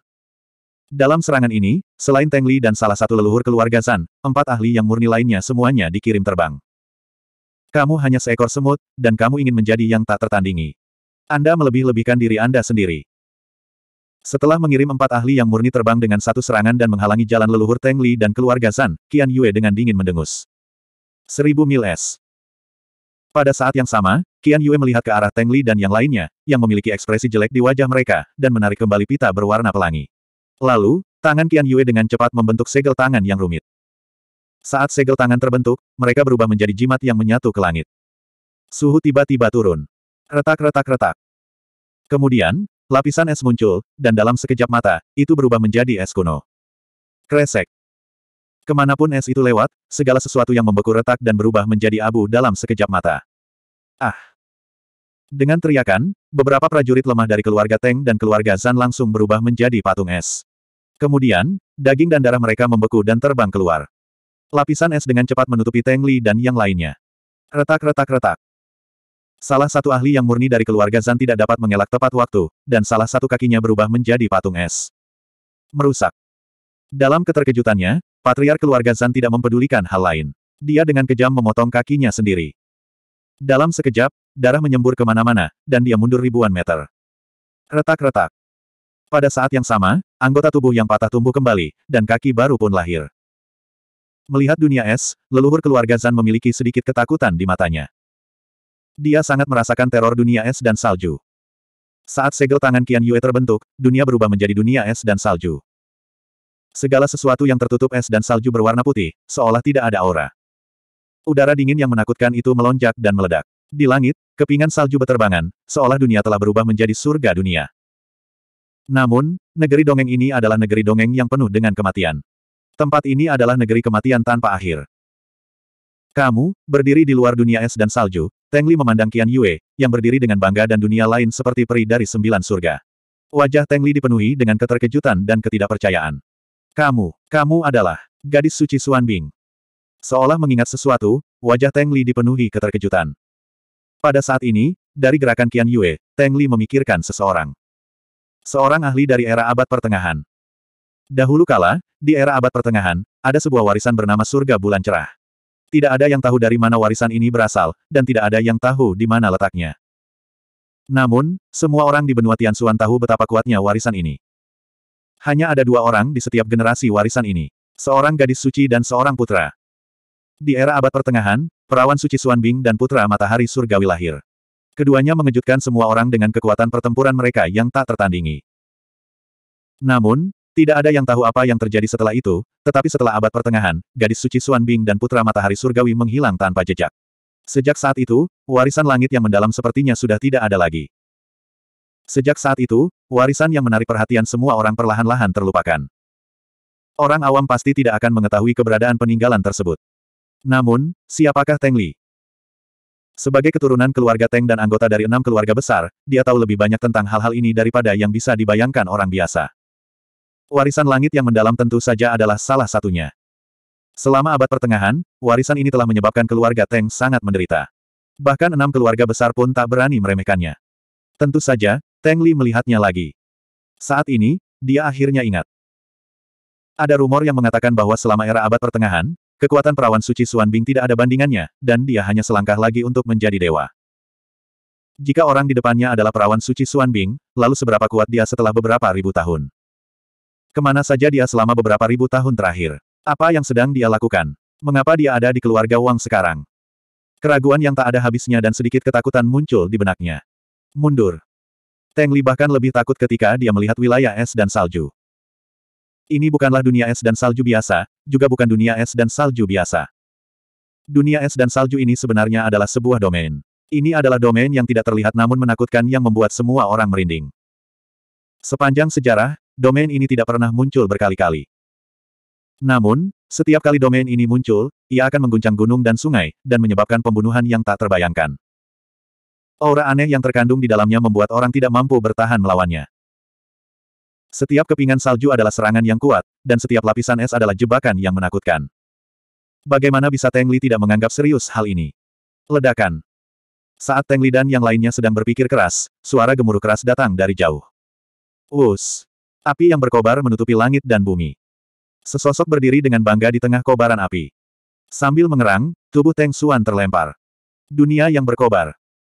Teng Li berteriak saat melihat lautan api yang menutupi langit dan bumi. Dunia es dan dunia api yang berkobar. Bukankah ini wilayah kekuasaan perawan suci Suan Bing dan orang suci matahari surgawi? Situasi ini memungkinkan Teng Li untuk mengetahui identitas dua orang di depannya. Mereka mewarisi benua langit misterius dan muncul di masa sulit. Siapa sangka kedua orang ini memiliki latar belakang yang begitu kuat. Warisan benua langit yang misterius. Setelah dikirim terbang, ekspresi Teng Xuan berubah drastis saat dia menenangkan diri. Dia memandang dua orang di dalam surga kembar es dan api dengan kaget. Apa yang dipikirkan Teng Li, juga dipikirkan Teng Xuan. Aku tidak menyangka itu kamu. Teng Xuan ingat bahwa leluhur Teng Long telah bertarung dengan warisan benua langit misterius dan kemudian mengasingkan diri bersama keluarga Teng. Pertempuran itu sangat menggemparkan. Siapa yang mengira bahwa dua orang di depannya adalah gadis suci dan putra warisan benua langit misterius? Ekspresi Teng Xuan terus berubah. Tidak ada yang tahu apa yang dia pikirkan saat itu. Kalian semua, mundurlah. Dalam seratus tahun, keluarga Wang tidak akan hancur. King Feng dan Qian Yue dengan tenang berkata kepada keluarga Teng dan anggota keluarga San yang terkejut. Mereka seperti dewa yang memandang rendah keluarga Teng dan keluarga San.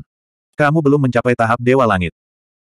Mendengar kata-kata mereka, ekspresi Teng Xuan berubah seram saat dia berbicara dengan suara rendah. Dia bisa merasakan bahwa mereka berdua belum mencapai alam dewa surgawi dari pertempuran sebelumnya. Kalau tidak, dia pasti sudah lama mati. Karena mereka belum mencapai tahap Dewa Langit, hak apa yang mereka miliki untuk mengatakan hal itu? Teng Xuan tidak mau mundur begitu saja. Tidak berada di panggung Dewa Langit. King Feng mencibir saat mendengar kata-kata Teng Xuan. Panggung Dewa Surga, bagaimana bisa semudah itu? Itu sulit dan jalannya bergelombang. Selain itu, warisan benua langit misterius mereka juga melakukan hal yang ekstrim. Jika bukan itu masalahnya, mungkin dia dan Qian Yue berhak mencapai tahap Dewa Langit. Namun, bagaimana jika mereka belum mencapai tahap Dewa Langit? Itu cukup untuk menghentikan keluarga Teng dan keluarga San. Jadi bagaimana jika Teng Xuan berada di jalur menuju tahap Dewa Langit? Selama dia belum mencapai panggung Dewa Langit, dia tidak akan mampu menembus pertahanan mereka atau menyerang kota kerajaan. Meskipun kami belum mencapai tahap Dewa Langit, kami sudah cukup untuk menghentikanmu. Mundur, kami tidak ingin memulai pembantaian hari ini. Jika Teng Long kembali di masa depan, suruh dia datang dan bertarung denganku. Mata King Feng bersinar saat dia berkata dengan tenang. Adapun keluarga Wang, kesempatan untuk bertarung tidak akan segera datang. King Feng menyipitkan matanya dan berkata. 1907. Untuk hari ini, Anda tidak akan bisa menghancurkan kota raja. King Feng berkata dengan dingin. Jika aku ingin menghancurkannya, kamu tidak akan bisa melindungi keluarga Wang. Teng Xuan berkata dengan enggan. Ekspresinya sangat ganas. Setelah mengetahui identitas King Feng dan Qian Yue, Teng Xuan terkejut. Dia tahu bahwa meskipun mereka bertarung sampai mati, akan sangat sulit bagi mereka untuk menghancurkan kota raja. Namun, jika mereka ingin membuat kota kerajaan menderita kerugian besar dan menjerumuskan masyarakat ke dalam kesengsaraan dan penderitaan, mereka tetap bisa melakukannya. Bagaimana mungkin Teng Xuan rela membiarkan mereka pergi begitu saja setelah mengerahkan begitu banyak orang untuk membunuh mereka di sini? Teng Xuan masih ingin memaksa King Feng dan Qian Yue mundur. Memikirkan hal ini, dia menambahkan, jika kalian berdua bersedia pergi, keluarga Teng dan keluarga Zan akan berhutang budi padamu. Jika ada kebutuhan di masa depan, kami akan melakukan yang terbaik. Ini adalah janji yang dibuat keluarga Teng dan keluarga Zan kepada King Feng dan Qian Yue. Mendengar ini, ekspresi Teng Xuan berubah. Selama fondasi keluarga Wang tidak hancur, kota raja tidak akan hancur. Keluarga Wang akan ada selamanya. Dan kamu. Menghadapi ancaman Teng Xuan, King Feng menyipitkan matanya. Adapun kamu, kami tidak akan membiarkanmu pergi. Karena aku kalah darimu, secara alami aku akan melakukan yang terbaik untuk menebusnya. Keluarga Teng dan keluarga Zan, saya hanya bisa mengunjungi mereka. Kata-kata King Feng dipenuhi dengan niat membunuh. Kata-kata ini menyambar hati Teng Xuan seperti sambaran petir. Kata-kata ini membuat ekspresi semua orang dari keluarga Teng dan keluarga San berubah. Mereka mengungkapkan sedikit ketakutan. Jika dua makhluk kuat ini pergi ke keluarga Teng dan keluarga San, akan terjadi pembunuhan tanpa akhir dan aliran darah. Lalu apa yang akan terjadi pada keluarga Teng dan keluarga San? Mereka tidak berani membayangkan. Adegan itu menjadi sunyi senyap. Wang Chen sendiri sudah cukup membuat keluarga Teng dan keluarga San cemas. Jika dua makhluk kuat ini bergabung. Saat ini, Bahkan Teng Xuan tidak tahu harus berkata apa. Dia tidak menyangka ancamannya tidak akan berpengaruh apa pun. Sekarang, dia diancam oleh King Feng. Apalagi ancaman ini langsung masuk ke hatinya. Teng Xuan harus menganggapnya serius. Setelah sekian lama, dia mendengus. Bagus, sangat bagus. Warisan mendalam langit. Suatu hari nanti, aku pasti akan bertarung denganmu. Mengatakan ini, ekspresi Teng Xuan menjadi sangat suram. Ayo pergi. Saat suaranya memudar, Teng Xuan bersiap untuk pergi bersama keluarga Teng dan San. Tidak peduli betapa marahnya dia, apa yang bisa dia lakukan. Bahkan pada saat ini, betapapun enggannya dia, apa yang bisa dia lakukan. Kata-kata King Feng membuatnya tidak punya pilihan lain. Jika mereka bertarung sampai mati, harga yang harus mereka bayar akan menjadi bencana. Dengan dua pembangkit tenaga listrik yang mempertahankan benteng, ditambah dengan perlindungan harta dharma, bagaimana mungkin mudah untuk masuk ke kota raja. Pada saat itu, jika mereka benar-benar menarik kedua iblis ini, keluarga Teng dan keluarga Zan tidak akan pernah memiliki hari yang damai. Dalam keadaan seperti itu, satu-satunya pilihan Teng Xuan adalah pergi. Jika dia pergi sekarang, akan lebih penting untuk mencegah Wang Chen dan yang lainnya langsung menemui keluarga Teng. Hari pembukaan medan perang adalah hari di mana keluarga Teng, keluarga Zan, dan keluarga Wang bertarung sampai mati. Teng Xuan berteriak dengan marah sebelum pergi. Kata-katanya mengguncang dunia dan bertahan lama di langit. Suara mendesing. Begitu dia selesai berbicara, ruangan itu terkoyak. Terowongan spasial muncul di depan semua orang. Teng Xuan dan yang lainnya melintas dan menghilang ke dalam terowongan. Suara mendesing.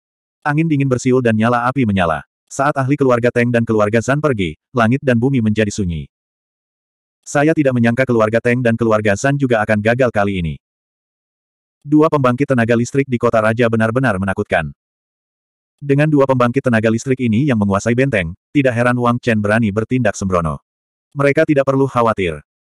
Mungkin hanya keluarga kuat seperti keluarga Ryu dan keluarga Bai, atau Gunung Sainte sendiri, yang bisa menekan kota raja. Beberapa saat kemudian, orang-orang dari seluruh dunia yang memperhatikan apa yang terjadi di Royal City tidak bisa menahan diri untuk tidak menghela nafas dengan emosi. Pada akhirnya, keluarga Teng dan keluarga Zan tetap meninggalkan kota raja. Keluarga Wang selamat dari krisis lain tanpa kecelakaan apa pun. Pada saat ini, sepertinya seluruh benua langit yang mendalam akhirnya mengakui kekuatan keluarga Wang. Tiba-tiba, beberapa orang teringat akan teror keluarga Wang. Huan Wu, Lin San, dua pembangkit tenaga listrik kuno, Wang Chen, Wang Yan, dan dua pembantu iblis. Selain itu, mereka mendapat dukungan penuh dari sekolah Xingchen. Bahkan keluarga Zhu dan keluarga Ryu memiliki hubungan dekat dengan keluarga Wang. Keluarga Bai dan keluarga Wang juga sangat dekat. Ya Tuhan, keluarga Wang. Betapa menakutkannya mereka. Semua orang tercengang setelah statistik selesai. Mereka semua kaget. Setelah perhitungan seperti itu, sungguh mengejutkan. Kekuatan keluarga Wang sepertinya jauh melampaui imajinasi orang biasa. Mereka sudah menjadi keluarga kaya raya. Dibandingkan dengan keluarga Zan dan keluarga Teng, mereka mungkin tidak kalah hebatnya, bukan? Terutama Huan Wu, yang merupakan eksistensi yang bahkan harus dihadapi oleh Tuan Pelindung Wajah. Terlebih lagi, seberapa muda Wang Chen dan Wang Yan. Batasannya adalah langit. Mendengar hal ini, seluruh benua langit yang mendalam menjadi gempar. Pada hari kedua setelah keluarga Teng dan keluarga Zan meninggalkan kota kerajaan, Wang Chen, Wang Yan, dan yang lainnya kembali ke kota kerajaan. Ketika Wang Chen dan yang lainnya melihat pemandangan kacau di luar kota kerajaan, mereka terkejut. Namun, ketika mereka melihat kota kerajaan masih berdiri, mereka tidak bisa menahan nafas lega. Keluarga Wang baik-baik saja, kota kerajaan baik-baik saja. King Feng dan Qian Yue, dua pembangkit tenaga listrik yang tak tertandingi ini, memang telah melindungi kota kerajaan dan menyelamatkannya dari bencana. Ini membuat Wang Chen merasa lebih nyaman. Pada saat yang sama, Wang Chen tidak bisa menahan kegembiraannya. Kembali ke alam iblis, dia menyelamatkan jiwa King Feng dan Qian Yue dan membantu mereka membangun kembali tubuh fisik mereka. Seberapa benarkah pilihan ini? Jika bukan karena ini, konsekuensinya tidak terbayangkan. Tanpa perlindungan King Feng dan Qian Yue, keluarga Wang akan menderita bencana yang tak terhitung jumlahnya selama periode ini. Dengan keduanya, Wang Chen akhirnya bisa meninggalkan tempat ini dengan pikiran tenang dan pergi ke Gua Dewa Sejati. Sudah waktunya mengungkap rahasia kuno, sudah waktunya mengangkat debu yang terkubur dalam sejarah. Sekarang, klan roh dihancurkan, reputasi keluarga Zan hancur, dan keluarga Teng sendirian. Mount Sainte sedang tidak ingin berurusan dengan keluarga Wang. Dalam keadaan seperti itu, jika Wang Chen tidak pergi ke Gua Dewa Sejati sekarang, kapan dia akan pergi? Terima kasih, para senior, karena telah melindungi keluarga Wang saya. Di dalam keluarga Wang, Wang Chen datang ke belakang ruang rahasia keluarga dan melihat King Feng dan Qian Yue lagi. Dia sangat berterima kasih kepada keduanya. Tidak perlu bersikap sopan. Kami berdua hanya melakukan apa yang kami janjikan padamu. King Feng berkata dengan acuh tak acuh atas rasa terima kasih Wang Chen. Apa rencanamu sekarang setelah kamu kembali? Qian Yue memandang Wang Chen dan bertanya. Gua Dewa Sejati. Wang Chen berkata dengan suara yang dalam. Mendengar perkataan Wang Chen, King Feng dan Qian Yue terdiam. Kami bisa merasakan aura hukum surgawi semakin kuat. Mungkin medan perang akan segera dimulai. Anda harus bergegas. Qian Yue menghela nafas setelah hening beberapa saat. Iya, Mendengar kata-kata Qian Yue, ekspresi Wang Chen menjadi serius. Dia menarik napas dalam-dalam dan mengangguk. Medan perang itu, tempat macam apa itu, eksistensi macam apa itu, berapa banyak petani kuat yang mati di sana, berapa banyak darah yang murni yang mengalir, berapa banyak dewa dan setan yang dikuburkan di sana. Pada saat ini, Wang Chen tidak bisa menahan perasaan berat di hatinya. Pergilah, bersama kami di sini, keluarga Wang akan baik-baik saja. Setelah medan perang dimulai, Anda hanya bisa mengandalkan diri sendiri. Qian Yue menatap Wang Chen dalam-dalam dan menghela nafas. Mendengar kata-kata Qian Yue, Wang Chen mengangguk dan membungkuk sebelum mundur perlahan. Melihat punggung Wang Chen yang mundur, Qian Yue dan King Feng terdiam. Setelah sekian lama, Qian Yue menghela nafas. Langit misterius berada dalam kekacauan dan medan perang akan dimulai lagi. Aku khawatir kita berdua tidak akan bisa menghindarinya. Medan perang ini luar biasa. Ingatan kita telah disegel. Apa yang terjadi selama abad pertengahan? Apa yang terjadi pada era kuno dan era abadi? Mungkin semuanya akan terungkap satu per satu. Adapun Wang Chen, itu tergantung pada keberuntungannya sendiri. Sekarang tangan hukum surgawi telah muncul dan dipenjara, ini adalah peluang sekaligus tantangan. Dia hanya bisa mengandalkan dirinya sendiri untuk segalanya. Tidak ada yang bisa membantunya. Bisakah warisan Tuhan yang sejati mendapatkan kembali kejayaannya? King Feng bergumam pada dirinya sendiri. Matanya tajam saat ini, tetapi juga tampak melayang. Setelah sekian lama, ruang rahasia kembali sunyi. Yang tersisa hanyalah desahan lembut Qian Yue. Kamu ingin pergi ke gua tempat tinggal Dewa Sejati. Di dalam aula keluarga Wang, Siang Qiankan memandang Wang Chen dan bertanya dengan sungguh-sungguh. Saat ini, hanya ada Wang Chen dan Siang Qiankan di aula. Suasana di aula sedikit sunyi. Saatnya melakukan perjalanan. Ada beberapa hal yang harus diungkapkan. Wang Chen berkata dengan ringan. Lalu, dia berhenti. Apakah kamu bersedia ikut denganku? Melihat Siang Qiankan, ekspresi Wang Chen menjadi rumit. Saat itu, Bakat Siang Qiankan tidak kalah dan bahkan bisa dibilang jenius. Hanya saja beberapa tahun ini, karena masalah keluarga Wang, dia telah membuang terlalu banyak energinya, menyebabkan dia mengabaikan banyak kultivasinya. Jika gua tempat tinggal dewa sejati dibuka kali ini, pasti akan ada banyak peluang. Jika Siang Qiankan bersedia pergi, dia mungkin bisa mendapatkan beberapa peluang. Ini juga bisa dianggap sebagai kompensasi untuknya. Dua Tuhan yang sebenarnya tempat tinggalnya. Hehe, pasti ada banyak harta karun.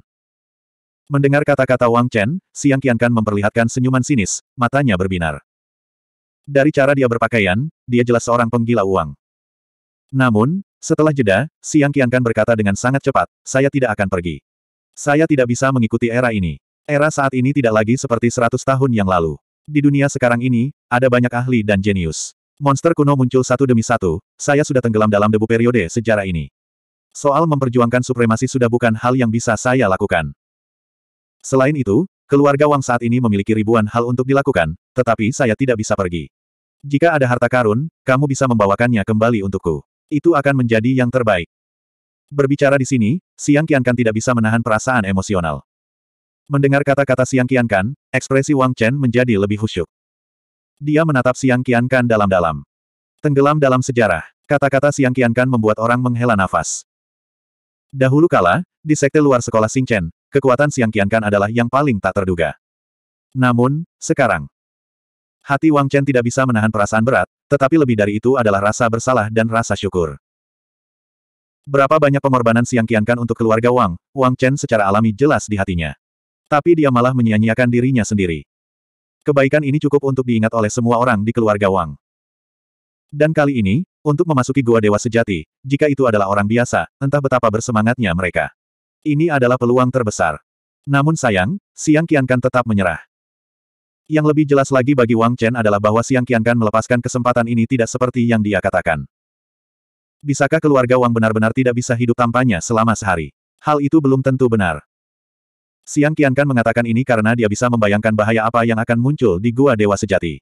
Dan kekuatannya jelas tidak cukup untuk menghadapinya. Dia khawatir jika dia ikut, dia hanya akan menjadi beban bagi Wang Chen dan yang lainnya. Bagaimana mungkin Wang Chen tidak melihat pemikiran ini? Pada akhirnya, mengenai keputusan Siang Qiankan, Wang Chen tidak banyak bicara. Dia menghela nafas dan hanya menepuk bahu Siang Qiankan dengan berat. Saat ini, keheningan berbicara lebih keras daripada kata-kata. Mungkin, satu tindakan sudah cukup untuk menjelaskan semuanya. 1908 jika ada harta karun, aku pasti akan mengembalikannya untukmu. Setelah hening lama, Wang Chen akhirnya tersenyum dan berkata kepada Siang Qiankan. Haha. Kemudian, keduanya saling memandang dan tertawa. Kalau begitu, aku akan menunggu harta yang kamu bawa kembali. Kata Siang Qiankan dengan mata emas. Sulit membayangkan bahwa dia adalah anggota inti keluarga Wang dan semua perkembangan keluarga Wang berada di bawah kendalinya. Baiklah, nak, kamu bisa pergi ke kediaman Dewa Sejati dengan damai. Anda tidak perlu khawatir tentang hal-hal di sini. Dengan King Feng dan Qian Yue di sini, keluarga Wang pasti akan aman. Siang Qiankan berkata dengan percaya diri. Dengan kendalinya dan bantuan dua pembangkit tenaga listrik, kesalahan apa yang bisa dilakukan keluarga Wang? Kapan kamu berencana untuk pergi? Siang Qiankan mau tidak mau bertanya. Dalam tiga hari, Wang Chen sudah membuat keputusan.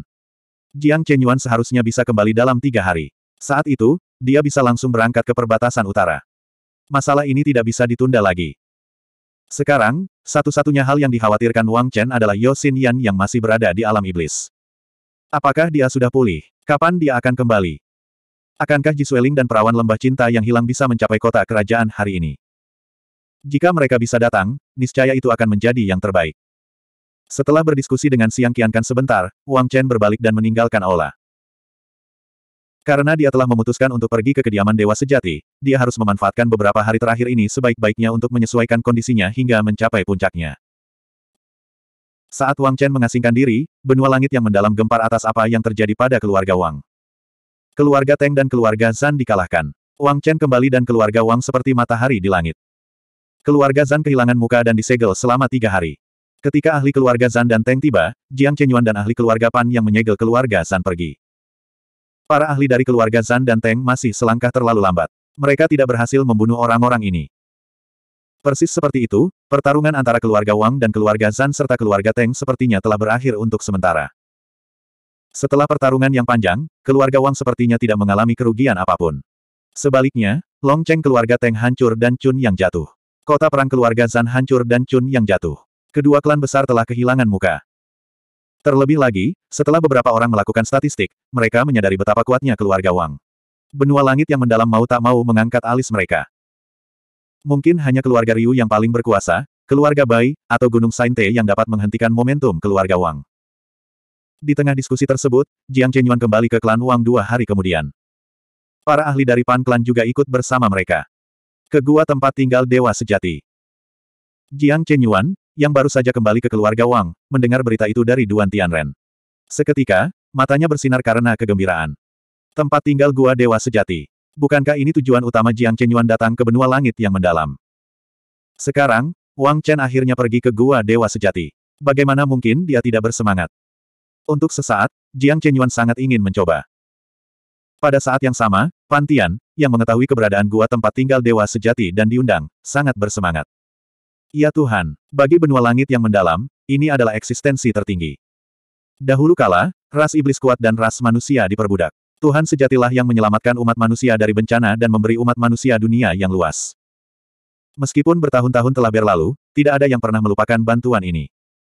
Sayangnya, dewa sejati sudah lama tiada. Sekarang, Wang Chen akan pergi ke Gua Dewa Sejati. Hal menarik apa itu? Pantian yang diundang merasa semakin emosional dan diam-diam bersuka cita. Saat itu, memilih untuk mendukung keluarga Wang tidak diragukan lagi merupakan sebuah risiko.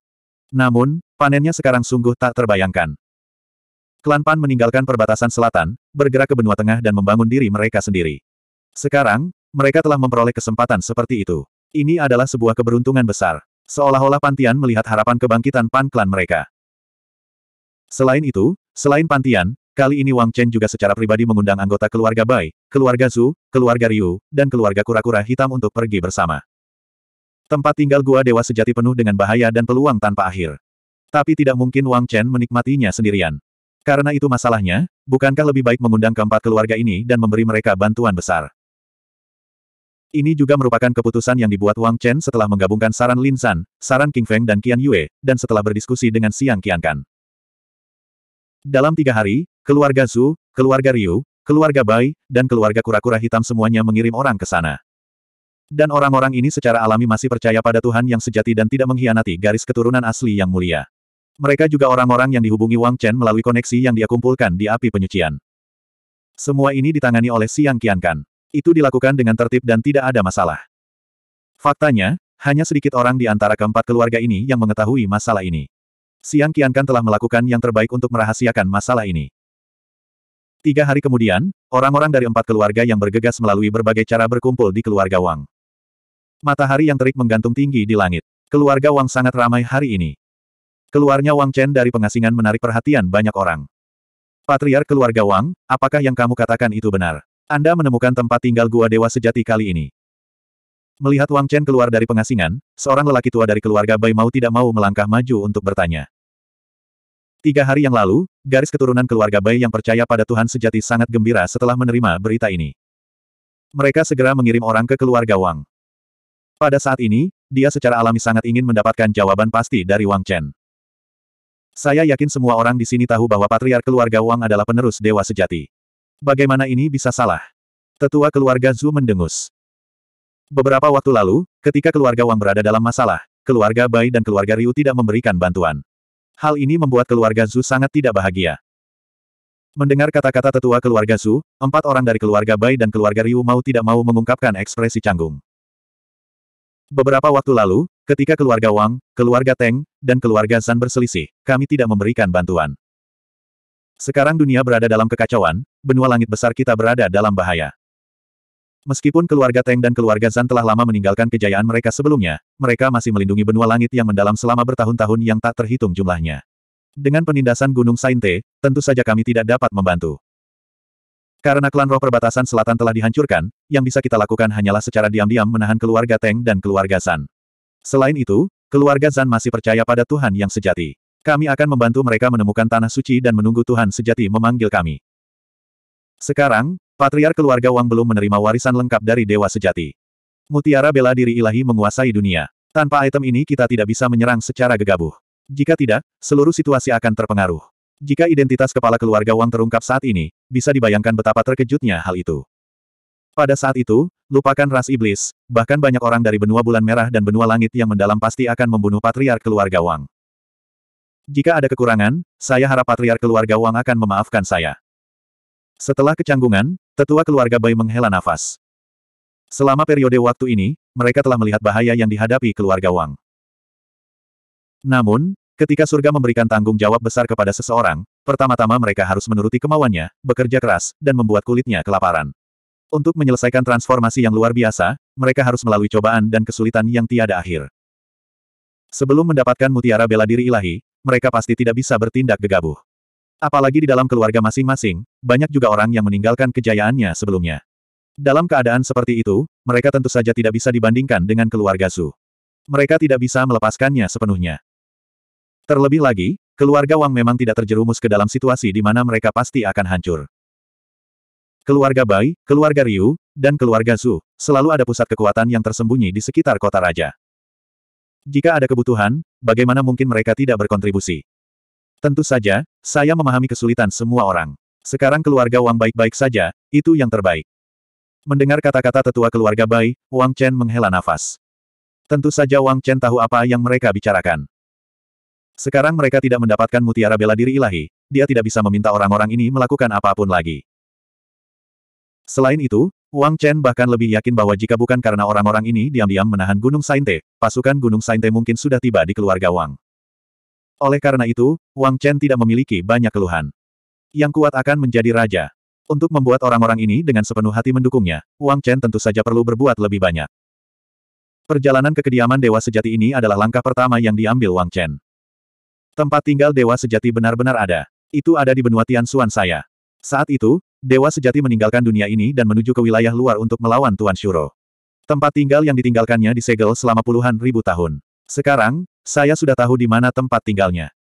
Segera setelah itu, Wang Chen berkata dengan percaya diri.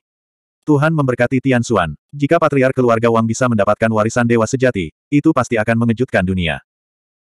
Mendengar konfirmasi Wang Chen, semua pembangkit tenaga listrik tidak bisa menahan diri untuk tidak bersemangat. Lalu kapan kita harus berangkat ke kediaman Dewa Sejati? Tetua keluarga Ryu bertanya. Hari ini. Wang Chen mengungkapkan senyuman. Bagus. Hahaha. Masalah ini tidak boleh ditunda-tunda. Karena itu masalahnya, ayo berangkat hari ini untuk mencegah penundaan yang tidak semestinya. Mendengar kata-kata Wang Chen, tetua keluarga Bai tertawa. Tapi, ras iblis ini, Segera setelah itu, melihat Jiang Chenyuan dan Duan Tianren di samping Wang Chen, tetua keluarga kura-kura hitam mengerutkan kening. Ras iblis juga ingin menuju tempat tinggal dewa sejati. Ini jelas membuat kedua tetua keluarga kura-kura hitam sedikit tidak puas. Dahulu kala, ras manusia dan ras iblis hidup berdampingan. Dewa sejati dan dewa iblis bahkan memicu perang besar antara dewa dan iblis. Semua keluhan ini, meski sudah bertahun-tahun berlalu, masih tetap menjadi dendam yang sulit diselesaikan. Membiarkan ras iblis memasuki kediaman dewa sejati pasti akan membuat orang merasa tidak bahagia. Hehe, aku ras iblis, lalu kenapa? Dibandingkan dengan beberapa orang yang telah melupakan kemuliaan dewa sejati, ras iblisku jauh lebih baik dari mereka. Selain itu, keluarga Jiang saya dan kultus bulan iblis. Hehe, tidak berpartisipasi dalam kekacauan ini dan tidak memiliki niat terhadap benua Tianxuan. Jiang Chenyuan mencibir. Huff, bagaimana perkataan ras iblis bisa dipercaya dengan begitu mudah? Wajah tetua keluarga kura-kura hitam memerah saat dia mendengus dingin. Ada terlalu banyak orang di keluarga kura-kura hitam yang telah mengkhianati dewa sejati. Kata-kata Jiang Chenyuan tanpa sadar membuat sesepuh keluarga kura-kura hitam jengkel. Karena kata-kata ini membuat si sesepuh merasa wajahnya seperti ditampar dengan keras. Untuk sesaat, Jiang Chenyuan, Duan Tianren, dua tetua keluarga kura-kura hitam, dan bahkan anggota empat klan besar yang tersisa semuanya maju ke depan. 1909 Wang Chen tidak bisa menahan diri untuk tidak mengerutkan kening melihat ketegangan yang tiba-tiba dalam situasi tersebut. Informasi tentang kediaman dewa sejati berasal dari keluarga Jiang. Setelah beberapa saat, Wang Chen berkata dengan suara yang dalam. Wang Chen telah memikirkan tentang apa yang mungkin terjadi ketika dia mengundang orang-orang dari empat klan besar. Dalam keadaan seperti itu, dia secara alami sudah siap untuk itu. Dendam antara ras iblis dan ras manusia terlalu dalam. Perbudakan ras iblis di era Archean membuat ras manusia memiliki terlalu banyak kebencian. Ketika alam iblis disegel, ras iblis meninggalkan terlalu banyak kengganan. Meski bertahun-tahun telah berlalu, dendam itu belum hilang sama sekali. Tanah terlarang keluarga Jiang diturunkan dari era Archean. Tempat tinggal dewa sejati berasal dari sana. Di era Archean, ketika Sura menyerang, dewa sejati dan dewa iblis meninggalkan warisan mereka dan pergi ke alam ekstrateritorial. Sekarang tiga alam sedang dalam kekacauan, mungkin Shuro akan segera kembali. Di alam iblis, kultus bulan iblis dan keluarga Jiang tidak berniat menyerang benua Tianxuan. Kita bisa bekerja sama. Wang Chen menambahkan setelah hening beberapa saat. Apa? Mendengar kata-kata Wang Chen, suasana berat seakan hilang dalam sekejap. Kali ini, para tetua dari empat klan besar melebarkan mata mereka dan berseru. Klan Shuro. Tetua dari keluarga Bai tidak lagi ingin berdebat dengan Jiang Chenyuan. Ekspresinya langsung menjadi serius. Di era Archean, Dewa Sejati pergi ke alam ekstrateritorial untuk melawan klan Shuro. Tetua dari keluarga Zu juga terlihat serius. Klan Sura sangat kuat. Ada ribuan Raja Shuro. Setiap Raja Shuro sangat kuat dan dapat menyapu seluruh dunia. Meski sejarah telah mengubur terlalu banyak hal. Mengenai klan Shuro, semua klan kami menyebutkannya. Benarkah saat klan Sura turun, dunia akan hancur? Tetua dari keluarga Bai bertanya dengan gugup. Berapa lama empat klan besar? Meski tidak banyak catatan tentang Dewa Langit dan Dewa Sejati. Namun, Sura memang menyebutkannya. Faktanya, nenek moyang mereka menggambarkan garis keturunan Shuro dengan ketakutan dan ketakutan. Di era primordial, terjadi perang besar antara dewa dan iblis, dan dunia berada dalam kekacauan. Kemudian, Shuro muncul, dan dunia hampir hancur. Kemudian, terjadilah pertempuran besar. Namun, bagian sejarah itu sepertinya hilang. Catatan berikutnya adalah ketika Shuro menghilang dan tiga alam terpisah. Ada kalimat penting dalam catatan itu. Itulah kemunculan kembali Shuro, kehancuran dunia. Dahulu kala, kata-kata ini tidak terbayangkan di mata mereka. Tapi sekarang, hal itu diucapkan oleh Wang Chen. Bagaimana mungkin mereka tidak kaget? Kepala keluarga Wang, apakah itu benar? Tetua keluarga Ryu mengerutkan kening saat dia bertanya lagi pada Wang Chen. Tentu saja. Wang Chen berkata dengan pasti. Hai, setelah menerima konfirmasi Wang Chen, mereka semua menghirup udara dingin dan terdiam. Tentu saja, Wang Chen tidak akan berbohong kepada mereka tentang hal seperti itu. Sebagai penerus Dewa Sejati, pengetahuan Wang Chen tidak kalah dengan pengetahuan mereka. Memikirkan kemungkinan Asura legendaris turun sekali lagi, wajah semua orang berubah serius. Jika itu masalahnya, baiklah. Setelah beberapa saat, tetua dari keluarga Ryu menghela nafas. Dia memandang Jiang Chenyuan dan Duan Tianren dengan ekspresi rumit. Meskipun mereka masih menyimpan dendam terhadapnya, mereka tidak dapat menolaknya saat ini. Kali ini, mereka diundang ke sini oleh Wang Chen. Oleh karena itu, mereka tidak punya hak untuk menolak siapa pun yang dibawa Wang Chen ke kediaman Dewa Sejati. Sekarang kediaman Dewa Sejati terletak di keluarga iblis, alasan apa yang harus mereka tolak? Lebih penting lagi, Sura akan segera turun. Jika apa yang dikatakan Wang Chen benar, mereka perlu menyatukan lebih banyak kekuatan untuk melawan klan Sura. Dalam keadaan seperti itu, meskipun mereka masih sedikit tidak nyaman, mereka hanya setuju dengan keputusan Wang Chen. Kalau begitu, ayo pergi. Melihat tidak ada lagi keberatan, kata Wang Chen. Begitu dia selesai berbicara, dia memimpin kelompok itu keluar kota. Astaga! Saat Wang Chen dan yang lainnya tiba di pinggiran kota, tiba-tiba terjadi fluktuasi di langit dan bumi. Astaga! Kekosongan itu terbelah. Pada saat berikutnya, empat sosok keluar dari kehampaan. Siapa ini? Melihat pemandangan seperti itu, semua orang yang hadir terkejut. Mungkinkah itu musuh lain? Klan Iblis, keluarga Teng, keluarga San. Ekspresi semua orang menjadi serius. Di lapangan, hanya Wang Chen yang berhenti sejenak ketika samar-samar dia melihat beberapa sosok berjalan keluar. Sedikit kegembiraan muncul di wajahnya. Siner. Melihat sosok putih itu, Wang Chen tidak bisa menahan diri untuk tidak berteriak. Sinyan. Kemudian, lelaki tua dari keluarga Ryu itu juga terlihat bersemangat. Itu karena dia juga mengenali orang-orang yang datang. Itu benar. Saat ini, orang yang muncul di depan semua orang adalah Yosin Yan dan Paman Fu. Selain itu, ada dua wanita anggun yang tampak seperti dewi dari sembilan surga. Cek cek cek, aku tidak menyangka mereka akan datang tepat waktu. Saatnya Wang Chen menikmati berkah memiliki seorang istri. Selain Wang Chen, Jiang Chenyuan memandang ketiga sosok itu dengan tatapan yang rumit. Dia mendengus dengan sedikit rasa cemburu dan kebencian. Yosin Yan, Ji Sueling, Orang suci dari lembah yang tak tergerak. Pada saat ini, ketiga sosok ini muncul di hadapan mereka. Tentu saja, untuk Paman Fu, Jiang Chenyuan langsung mengabaikannya. Kemunculan ketiga wanita tersebut membuat langit dan bumi redup dalam sekejap. Mereka menjadi bintang yang paling menarik perhatian di dunia ini. Saudara Chen. Di tengah seruan penonton, beberapa sosok dengan cepat muncul di depan mereka. Pemimpinnya, Yosin Yan, perlahan berjalan ke arah Wang Chen sambil tersenyum dan memanggil dengan lembut. Satu kalimat itu seakan membuat langit dan bumi membeku dan melakukan perjalanan waktu. Kalimat ini menghubungkan sungai panjang sejarah, dari zaman dahulu hingga sekarang, melalui kehancuran yang tiada akhir. Petik 2. Cederamu. Apakah? Apakah kamu baik-baik saja? Melihat Yosin Yan yang berdiri di depannya, Wang Chen bertanya dengan lembut. Melihat Yosin Yan di depannya, hati Wang Chen dipenuhi kegembiraan. Suaranya bahkan sedikit bergetar. Ini adalah orang terpenting dalam hidupnya. Jika dia baik-baik saja, semuanya akan baik-baik saja. Saya baik-baik saja. Mendengar perkataan Wang Chen, Yosin Yan tersenyum. Itu hebat. Melihat kulit Yosin Yan yang kemerahan dan merasakan vitalitas yang agung, kekhawatiran terakhir Wang Chen akhirnya hilang. Pada saat itu, melihat Yosin Yan di sampingnya, Wang Chen tiba-tiba merasa nyaman. Seolah-olah selama Yosin Yan berdiri di sampingnya, dunia akan lengkap. Terima kasih, kalian berdua. Kemudian, Wang Chen memandang Jisueling dan orang suci dari lembah pelupa dan berkata, Tidak perlu berterima kasih padaku. Itu hanya sesuatu yang harus saya lakukan. Mendengar kata-kata Wang Chen, orang suci dari lembah pelupa berkata. Begitu dia selesai berbicara, dia melihat orang-orang yang hadir dan mengerutkan kening. Ke mana kamu pergi? Dilihat dari formasi Wang Chen dan yang lainnya, terlihat jelas bahwa mereka bersiap untuk meninggalkan tempat ini. Hal ini membuat orang suci dari lembah kelupaan penasaran. Gua dewa sejati tempat tinggalnya. Wang Chen berkata dengan suara yang dalam. Mendengar ini, sosok Scientist of the Valley of Forgetfulness berhenti dan mengungkapkan ekspresi terkejut. Kali ini, dunia iblis berada dalam kekacauan. Para ahli kuno bermunculan satu demi satu. Lembah kelupaanku juga dalam masalah. Saat ini, dunia iblis masih dalam kekacauan, namun situasinya untuk sementara stabil. Sepertinya aku masih tepat waktu. Orang suci dari lembah kelupaan meratap. Awalnya, dia berjanji pada Wang Chen bahwa ketika penghalang tiga alam benar-benar rusak, dia akan membawa Yosin Yan ke benua langit yang mendalam untuk menemuinya. Namun, manusia mengusulkan, Tuhan yang menentukan.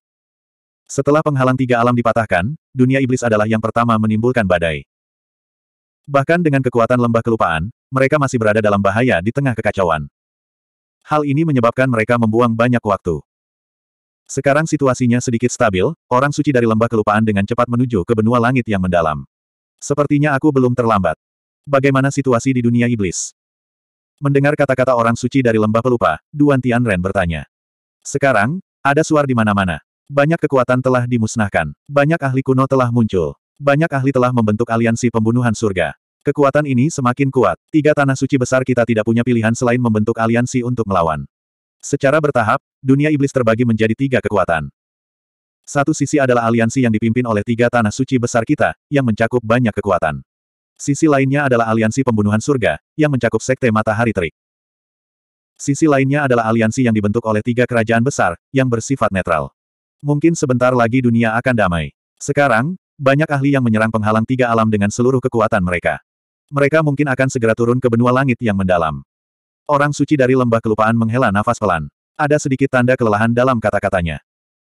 Bisa dibayangkan lembah kelupaan telah mengalami banyak perubahan selama periode waktu ini, dan dia pasti berada di bawah banyak tekanan.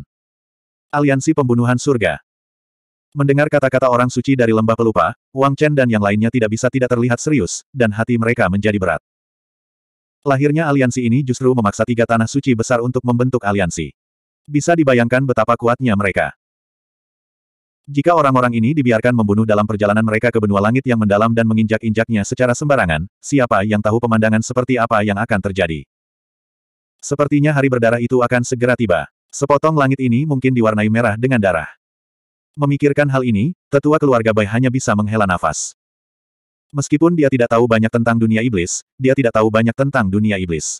Tapi dari perkataan wanita di hadapannya, situasi di dunia iblis sangat suram. Terlebih lagi, jika bukan karena tiga tanah suci besar yang dia sebutkan bergabung untuk melawan, api perang mungkin telah menyebar ke benua langit yang mendalam. Bagaimana Gunung Sainte bisa menolak? Pada saat yang sama, ini juga menjelaskan kepada tetua agung dari empat keluarga bahwa apa yang dikatakan Wang Chen tidak salah. Di dunia iblis, tidak semua orang adalah iblis. Mungkin, mereka benar-benar bisa menyatukan sebagian kekuatan mereka. Di bawah perubahan cuaca, dalam menghadapi kemungkinan bahaya, mereka mungkin bisa bersatu untuk melindungi sebidang tanah suci. Kalau begitu, ayo pergi ke kediaman Dewa Sejati. Pakar keluarga Zhu berkata dengan suara rendah. Itu bagus juga. Wang Chen mengangguk. Dia memandang Yosin Yan dan bertanya, kamu dan aku akan pergi bersama. Yosin Yan baru saja pulih dari lukanya, jadi Wang Chen tidak bisa tidak mengkhawatirkan kondisinya. Baiklah. Mendengar saran Wang Chen, Yosin Yan mengangguk dengan sigap. Dia berdiri diam di belakang Wang Chen. Seperti biasa, dia berdiri teguh. 1910 di perbatasan utara. Sudah lama sejak penghalang antara tiga dunia dipatahkan. Perbatasan utara sedang kacau. Melalui Deat Canyon, banyak setan memasuki perbatasan utara dalam upaya untuk mendatangkan malapetaka. Kerajaan Tianfeng adalah negara pertama yang menanggung beban terberatnya. Kota dosa menjadi sasaran kritik publik. Di sisi ini, keluarga Wang menghadapi tantangan yang tak ada habisnya. Untungnya, kultus bulan iblis dan keluarga Jiang menyerbu kota dosa dan melindungi kerajaan Tianfeng. Hal ini membuat orang-orang dari dunia iblis menahan diri. Meskipun ada beberapa yang tidak memahami situasinya, mereka semua dimusnahkan di bawah penindasan kultus bulan iblis dan keluarga Jiang. Dalam keadaan seperti itu, meskipun kerajaan Tianfeng berada dalam bahaya, namun tetap berdiri kokoh. Namun, di luar kerajaan Tianfeng, tempat-tempat lain di perbatasan utara terkena cuaca buruk. Bahaya yang tak ada habisnya melanda. Bahkan Sekte Api mengamuk, Sekte nomor satu di perbatasan utara, dan Kekaisaran Dali, penguasa perbatasan utara, menderita banyak korban. Dunia berada dalam kekacauan. Di daratan tengah, seseorang mungkin tidak merasakan banyak aura. Di daratan tengah, masyarakat merasakan pertarungan antara keluarga Wang, keluarga Teng, dan keluarga San. Namun ancaman dari dunia iblis masih jarang terasa. Namun, perbatasan utara berada dalam kondisi terpencil dan mayat berserakan di mana-mana. Di sini, Mayat dan darah yang tak terhitung jumlahnya menumpuk, menahan serangan dunia iblis berulang kali. Di tengah semua ini, Valet Night Palace menunjukkan kekuatannya yang luar biasa. Ini adalah sekte paling misterius di perbatasan utara. Tidak ada yang mengetahui kekuatan mereka, namun kekuatan yang mereka tunjukkan kali ini bahkan mengejutkan banyak orang di daratan tengah. Di bawah kepemimpinan Istana Malam Valet dan bantuan Gunung Sainte, meski garis perbatasan utara berada dalam kekacauan, garis itu tidak hilang. Kota Dosa Beberapa hari kemudian, Wang Chen dan yang lainnya akhirnya tiba di tempat ini. Kota Dosa saat ini sedikit sepi. Itu kurang makmur, tapi lebih khusyuk. Bos. Melihat kedatangan Wang Chen dan yang lainnya, manusia gila Kota Dosa mengungkapkan ekspresi gembira. Setelah tidak melihatnya beberapa saat, Wang Chen terkejut saat mengetahui bahwa kekuatan orang gila telah meningkat pesat. Jelas sekali, dia sudah masuk ke jajaran bulan Suan. Bahkan yang sadan yang lainnya telah masuk ke jajaran bulan mistik. Adegan seperti itu membuat Wang Chen merasa bersyukur setelah takjub. Dari kelihatannya, pil bunga suci dan ramuan suci yang dia tinggalkan saat itu cukup berguna. Terutama Kuang Ren, dia tidak lagi berada pada level seseorang yang baru saja memasuki alam bulan misterius. Selain pil Saint Flower dan obat Saint, sepertinya warisan yang dia peroleh dari klannya juga telah diaktifkan sepenuhnya. Di tengah auranya, ada sedikit energi petir yang tak terlihat. Seolah-olah itu datang dari surga, dan kekuatannya mengintimidasi langit dan bumi. Kepala keluarga Selain orang gila, anggota keluarga Wang lainnya di kota Xin juga berteriak kegirangan saat melihat Wang Chen. Meskipun mereka sudah lama tidak bertemu satu sama lain, benua langit yang mendalam seperti badai yang mengamuk, dan berita terus berdatangan. Wang Chen masuk ke kota naga dengan marah, menekan keluarga Teng, dan memaksa mereka ke dalam situasi putus asa. Dia melakukan serangan balik, menghancurkan ras roh, menekan kota naga, memaksa keluarga Zan dan keluarga Teng mundur. Setiap berita sangat menggetarkan. Setiap berita sudah cukup untuk mengguncang hati semua orang di keluarga Wang. Setiap kemenangan pertempuran membuat darah keluarga Wang mendidih karena kegembiraan. Bos, kamu akhirnya kembali. Dalam kegembiraannya, Kuang Ren tiba-tiba muncul di depan Wang Chen. Sinyan, kamu, kamu juga kembali. Saat dia melihat Yosin Yan, tubuh Kuang Ren bergetar, dan dia berkata dengan semangat. Ini. Pada saat yang sama, ketika Kuang Ren melihat sekelompok ahli di belakang Wang Chen, dia bahkan lebih tercengang, dan hatinya diliputi keterkejutan. Meskipun dia tidak mengetahui identitas orang-orang ini, dia bisa merasakan aura kuat mereka. Dia sebenarnya tidak bisa melihatnya. Kekuatan seperti itu sungguh tidak terbayangkan. Dari mana asal delapan lelaki tua ini? Siapa mereka? Bagaimana mungkin Kuang Ren tidak kaget? Ini adalah senior dari keluarga Su, keluarga Bai, keluarga Ryu, dan keluarga kura-kura hitam. Menghadapi keterkejutan Kuang Ren, Wang Chen menjelaskan. Hai. Mendengar penjelasan Wang Chen, kali ini, bukan hanya Kuang Ren yang terkejut, bahkan Yang Sa dan yang lainnya pun terkejut. Wang Chen sekarang bermusuhan dengan keluarga Teng dan keluarga San. Mungkinkah dia telah menghubungi empat keluarga lainnya? Jika demikian, situasi seperti apa yang akan terjadi? Sangat sulit untuk dibayangkan. Jika itu masalahnya, mengapa mereka takut pada keluarga Teng dan keluarga San? Sayangnya, Kuang Ren segera mengetahui beberapa alasannya. Pembangkit tenaga listrik ini tidak mewakili klan mereka. Mereka hanya mewakili diri mereka sendiri saat ini. Bos, apakah kamu akan pergi ke Gua Dewa Sejati kali ini? Di kota Dosa, di kediaman keluarga Wang, Kuang Ren tidak bisa menahan diri untuk tidak berseru setelah mengetahui tujuan Wang Chen. Gua Dewa Sejati benar-benar ada. Yang Sa bertanya dengan ekspresi terkejut. Gua Dewa Sejati ada di luar Laut Hitam. Kali ini, kita akan menyelidikinya. Kalian berdua, ikut aku. Melihat Kuang Ren dan Yang Sa, Wang Chen merenung. Saat ini, di keluarga Wang, hanya ada sedikit orang yang kekuatannya bisa mencapai alam bulan misterius. Meski gua dewa sejati penuh dengan peluang, hal itu juga disertai dengan risiko yang tak ada habisnya. Jika orang biasa pergi, niscaya mereka akan mendekati kematian. Adapun Kuang Ren dan Yang Sa, dengan kekuatan alam bulan misterius mereka, mereka mungkin bisa bertarung. Ini juga alasan mengapa Wang Chen membawa serta mereka. Kata-kata Wang Chen membuat Kuang Ren dan Yang Sa senang. Gua Dewa Sejati, keberadaan mulia macam apa itu?